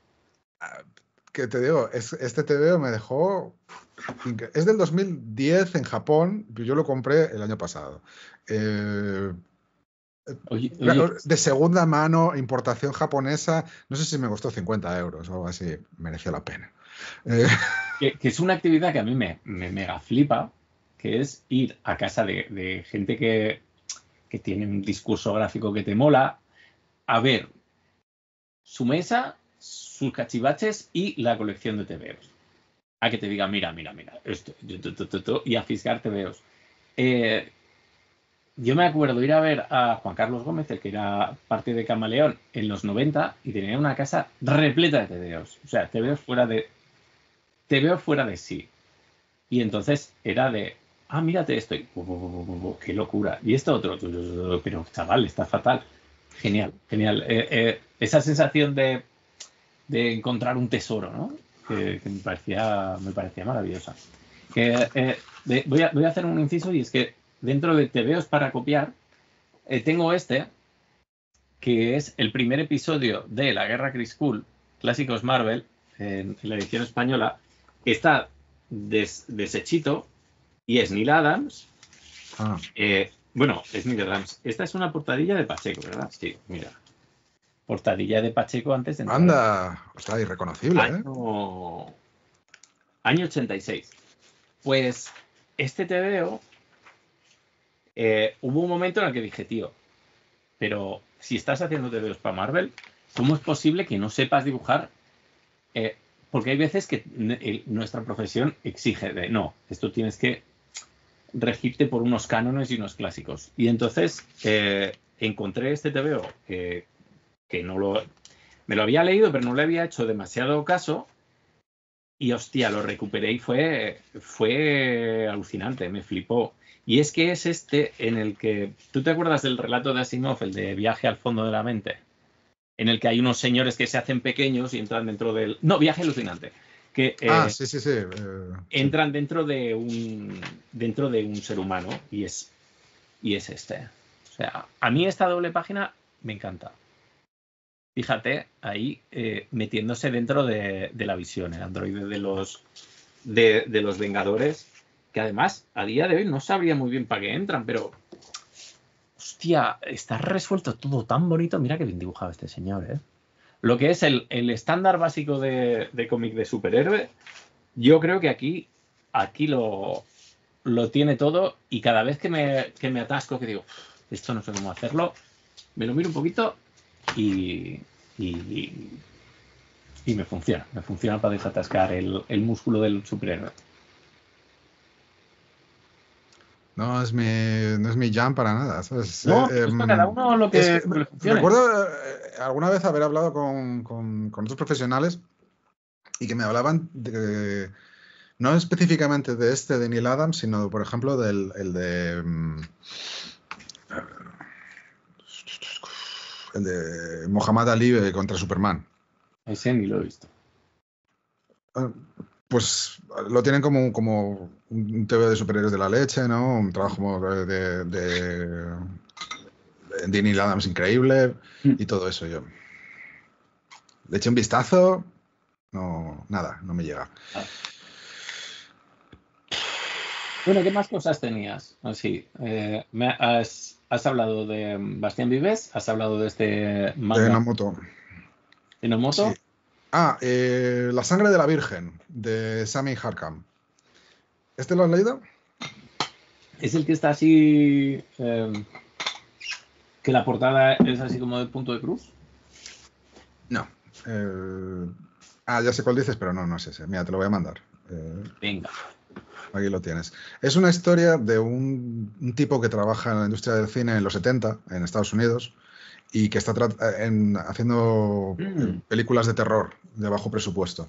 Y está tratando de hacer creo que está eh, tratando de, no sé si es escribir su primer guion o, que, eh, o, escribir, o dirigir su primera película y tal. Y va sobre como el día a día entre, en ese ambiente, ¿no? Que es como una especie de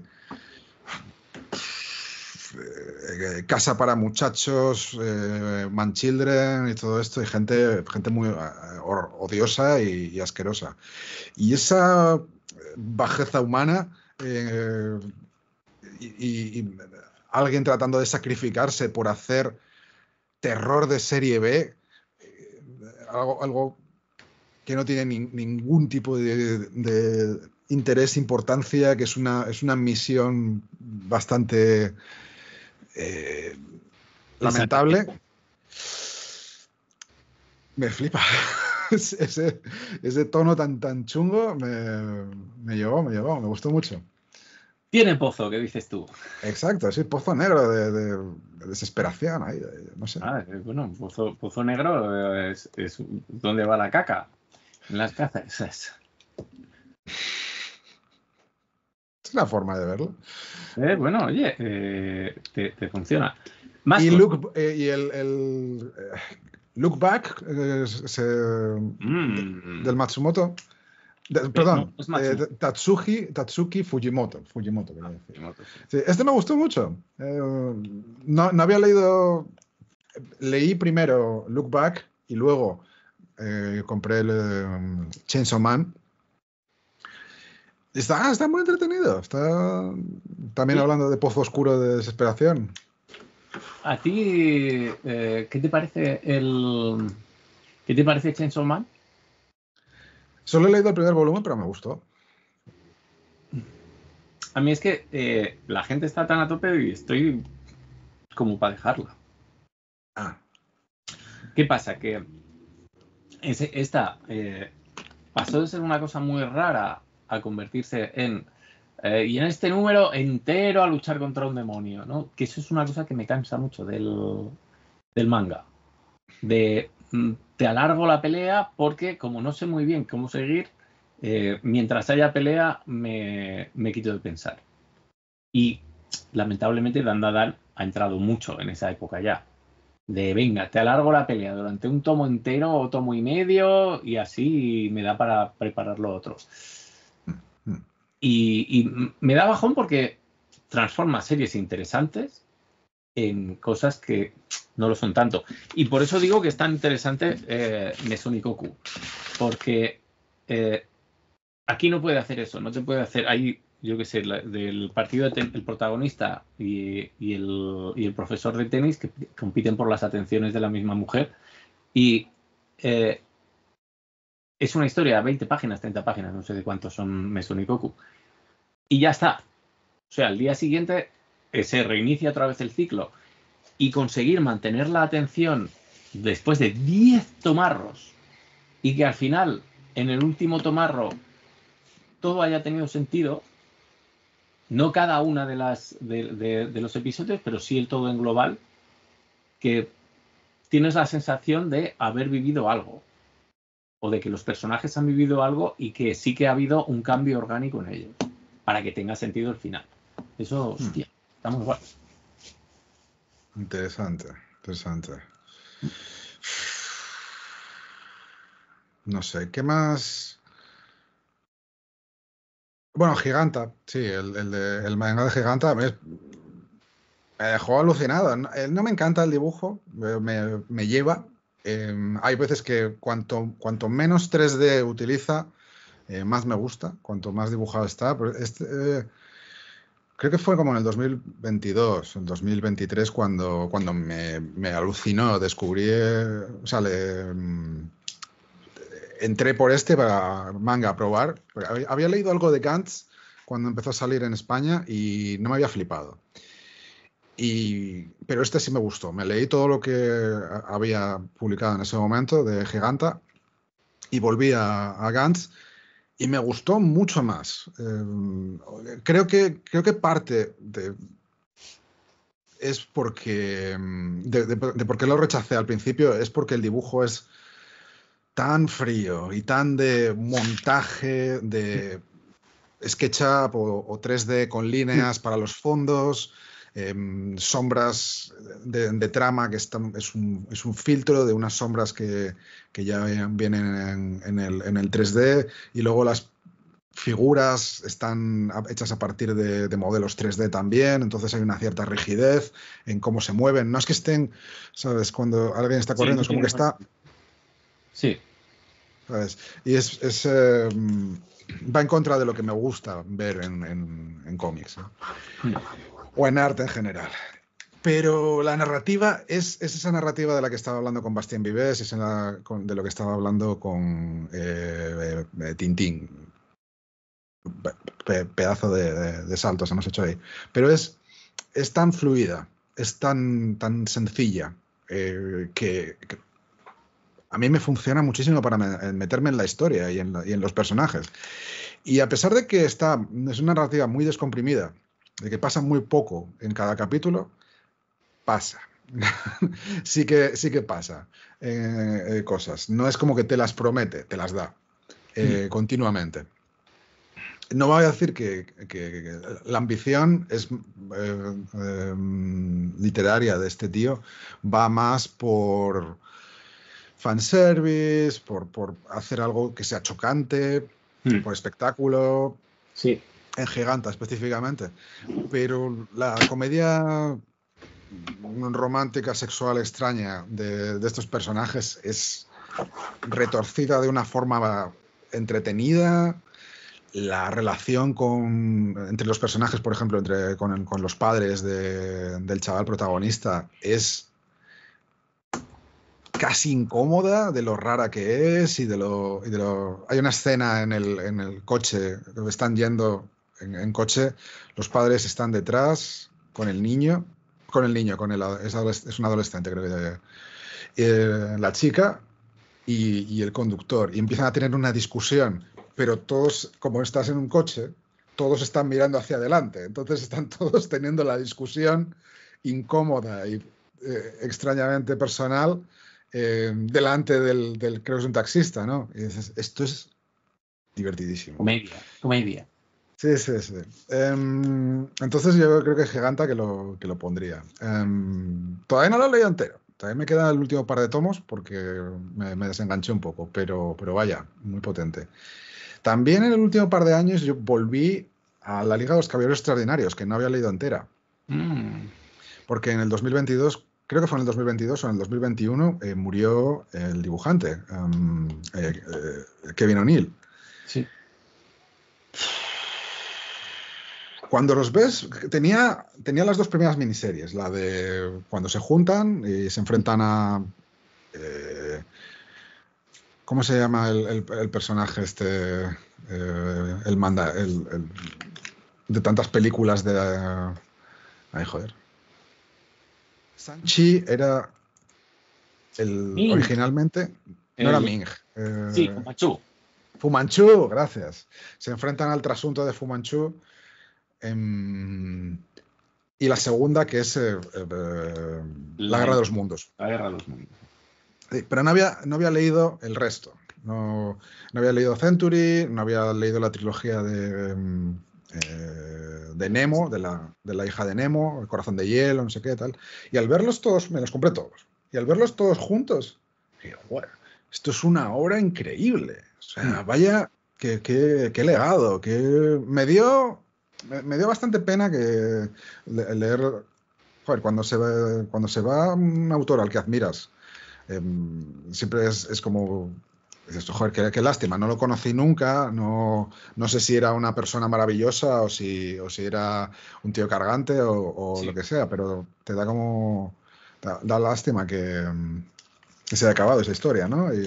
Y, al, ver todos esos tebeos puestos en la estantería, me, quedé como, joder, qué bonito esto que ha dejado detrás, ¿no? Qué, maravilla. ¿Tú lo has leído? He leído los primeros. He leído, no sé si son dos, otros, los tres, dos o tres primeros tomos, eh, pero luego ya cuando deja de, cuando empieza a moverse en el tiempo, pues ya no, ya lo dejé, pero sí, sí, recuerdo cuando lo publicaba, era, ¿cómo era? ¿ABC Comics? ABC Comics, sí. Eh, me, los, me, los, compraba todos. Me, y me gustaba Top Ten, me gustaba mucho eh, Prometea, que está muy guay. Mm, y mm. bueno, es que en general, Alan Moore está muy bien. Es que como hace las cosas con cariño y con oficio y con mucho talento, pues al final, ¿qué pasa? Que las cosas le quedan muy bien. Pero bueno, no sé. Eh, hay un momento en el que le pillas el truco o, le pillas los trucos que usa siempre y, si lees mucho Alan Moore seguido, pues como que, aburre. Con quien he hecho las paces ha sido con el Gaiman.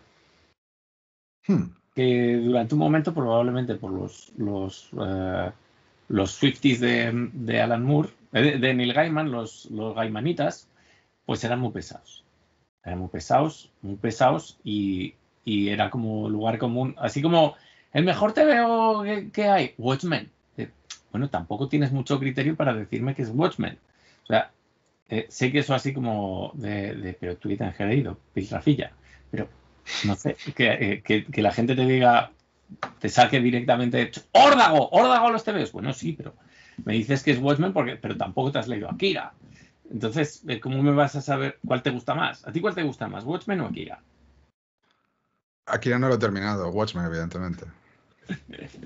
Es que, claro, hay una, también hay unas cosas que, eh, dices, es lo que, lo que mencionaba antes de eh, es, el, es, el, todo, ¿no? lo apabullante que es a nivel gráfico Akira está al alcance de, muy pocas obras de, cómic. Pero es que eso me ha Cristo que lo lea. he leído varias veces. ¿Qué le pasa a Yamagata? ¿Qué le pasa a quién es Yamagata? pues nada, eso es un, mutero. Yamagata sale, eh, creo que es en la última página de, Akira. O sea, es, uno de los amigos que, Cuando es, venga, vamos a defender Japón de la inversión de los americanos. Tenemos nuestra propia bomba atómica. Right. ¿Sabes qué? Igual tengo que darle eh, otra oportunidad y, meterme fuerte con si Lo, si lo ves desde el punto de vista descolonizador, además bebe mucho de bebe mucho de, la Godzilla original. De armas de destrucción masiva, incontrolable. Mano, es un, es un cómic de superhéroes. ¿Cuál? Akira. Es un, es un, cómic de adolescentes con poderes. O sea, no, no tienen trajes, pero en el sentido de que no tienen trajes que lleven el símbolo en el pecho. Pero que no lleva? Sí, pero Kaneda lleva ahí la... Kaneda lleva el, símbolo en la espalda y, Tetsuo lleva una, capa de villano y, tiene un traje de, superhéroe. a mí de eso no me... Desde luego, pero... Y luego está la señora aquella, que no me acuerdo de dónde salía, la que reparte hostias como panes. Kai. No, la señora Mazada. Ah, la señora Mazada. Eh, la señora Mazada ahí con un, un, lanzacohetes que lo mismo te revienta la cabeza con el lanzacohetes que te tira el cohete. Está muy guay. Sí, eh, lo que pero bueno, lo que estás hablando era de, poder explicar, ¿no? ¿Por qué, por qué te parece bueno un, un, cómic y todo eso? Que, oye, yo te voy a tener que dejar, porque en algún momento tendré que hacer la comida. Evidentemente, sí, sí. Y, eso. Y yo, yo creo que está muy interesante y que ha quedado demostrado.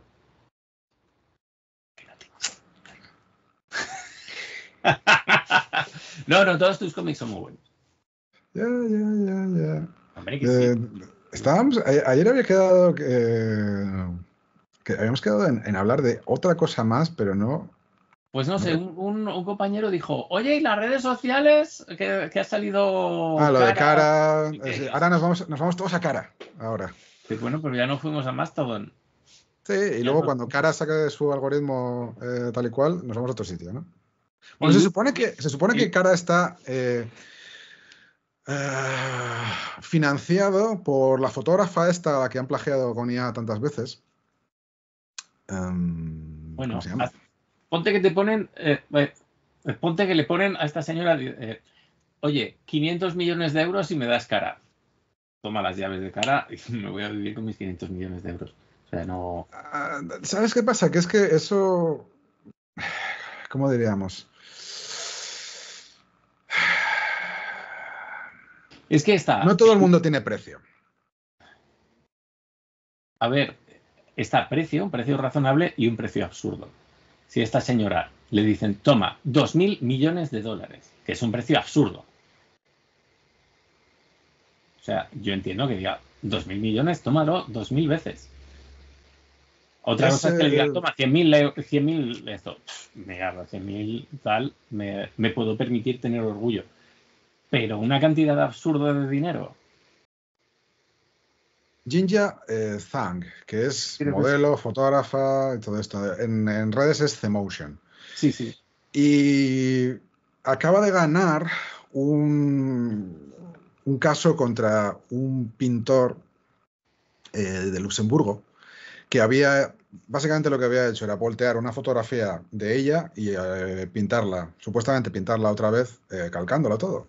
Y mm, claro, evidentemente era un plagio y evidentemente había calcado el, el asunto, pero claro, para, imagino que, claro, es que para ella es otra cosa, porque no solo es que haya plagiado eh, su fotografía, sino que es que, que es, que es suya, sino es que ha, ha plagiado su propia imagen. O sea, Sí. porque es su, su rostro, el que ha, fotografías que había sacado de sí misma, ¿no? Entonces, no sé, no sé. Em, yo creo que existe la posibilidad de que, eh, de que eso, que, de que no todo el mundo tiene precio como para, para hacer esto, pero no, no es- es- a la vez el, la emigración que vamos haciendo por eh, en redes sociales es algo o sea, que ocurre y es algo real. O sea, de- el- los últimos. ¿Cuándo te hiciste tu, tu primer blog? ¿En el 2004 o así? En el Sí, 90 bueno, y- sí, por ahí, por ahí, sí. Yo el mío, el primero que hice fue en el 2005, en un blogspot.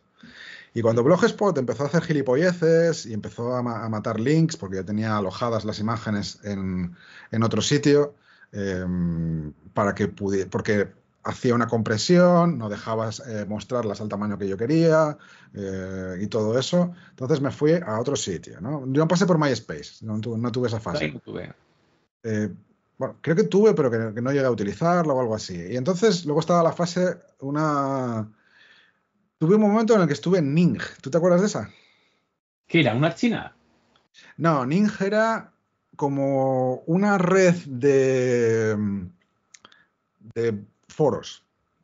Te podías hacer a- eh, añadir a lo- loguear para postear en el, en el Ning de otra persona, pero tú, si alguien entraba en tu propia cuenta, tú tenías como un montón de cosas. Tenías blog, tenías tu propio foro, tenías como una especie de portafolio, galería de, Hmm. de fotos y tal. Era como innecesariamente grande. Pasé por varios foros y luego creo que cambié a. Intenté WordPress, pero WordPress era demasiado complicado para mí, la- para la poca atención que, que quería dedicarle a. En fin, a las partes de armar una web. Mm. Ah, intenté lo de la web que te lo hace un amigo y eso no funciona nunca. Y luego ya llegaron las, eh, ya llegó Twitter y las, eh, y las redes. Entonces creo que hice como mi tercer blogspot o algo así antes de Twitter. Esto, Twitter 2008, 2009. O sea, tenía Facebook en el 2008.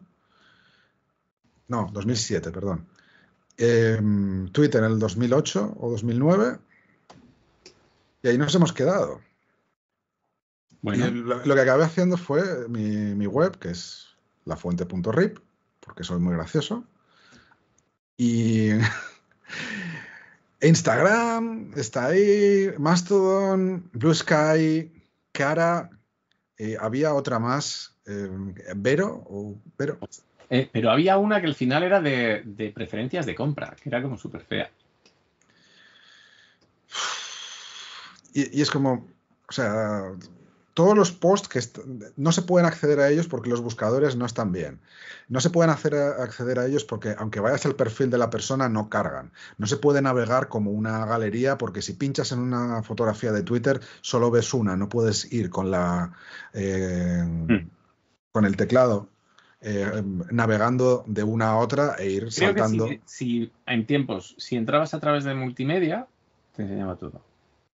En tiempos podías, pero había un límite de 20 fotografías, creo que era, que podías ver. O sea, tú podías, eh, con las flechas podías ir hacia adelante o hacia atrás y entonces te saltabas solo a los posts que tuvieran imágenes. Mm. Pero no distinguía entre los posts que fueran imágenes, que eran una respuesta con un GIF estúpido a una cosa, o los que fueran de, imágenes que habías posteado tú. De todas formas, era algo. Pero aún así, ahora eh, eso ya no se puede hacer. Mm. Y, hacer scrolling, solo ves la miniatura, no ves la, em, no ves la imagen entera, aunque sea en pequeño, solo ves como un cachito, creo. Sí. Eh, igual estoy hablando sin, saber. No, no, es una mierda. Y además ahora eh, ya permiten el porno, pues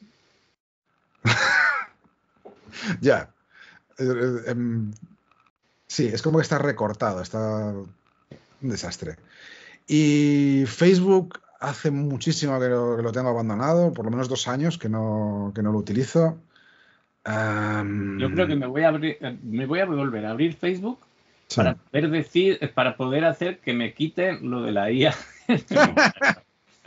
sí, Instagram tenía una serie de problemas también. El principal que reformateaba las imágenes, las comprimía, no se puede hacer más grandes de, tal tamaño, la calidad, quiero decir, tienes, estás posteando imágenes que representan tu trabajo, pues una especie de portafolio y, lo que está haciendo es, eh, mostrar una versión inferior de, lo que tienes en el, en el disco duro, es, es bastante desesperante.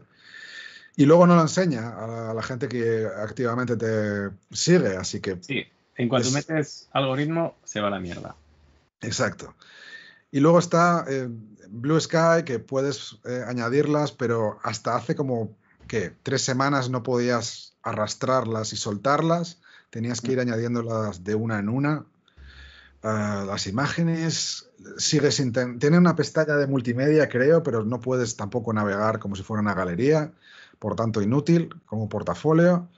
Em, lo de los portafolios de cuatro imágenes, a ver, yo tengo confianza en mi propio trabajo, pero cuatro imágenes no es suficiente para juzgar el trabajo de nadie. Realmente, em, en cara puedes subir hasta siete imágenes eh, o más, creo. No lo he probado. O sea, a ver, la cuenta y ya está. Sí, em, tampoco lo he probado. Me, contó un, amigo que había hecho unos testeos, ¿no? Em,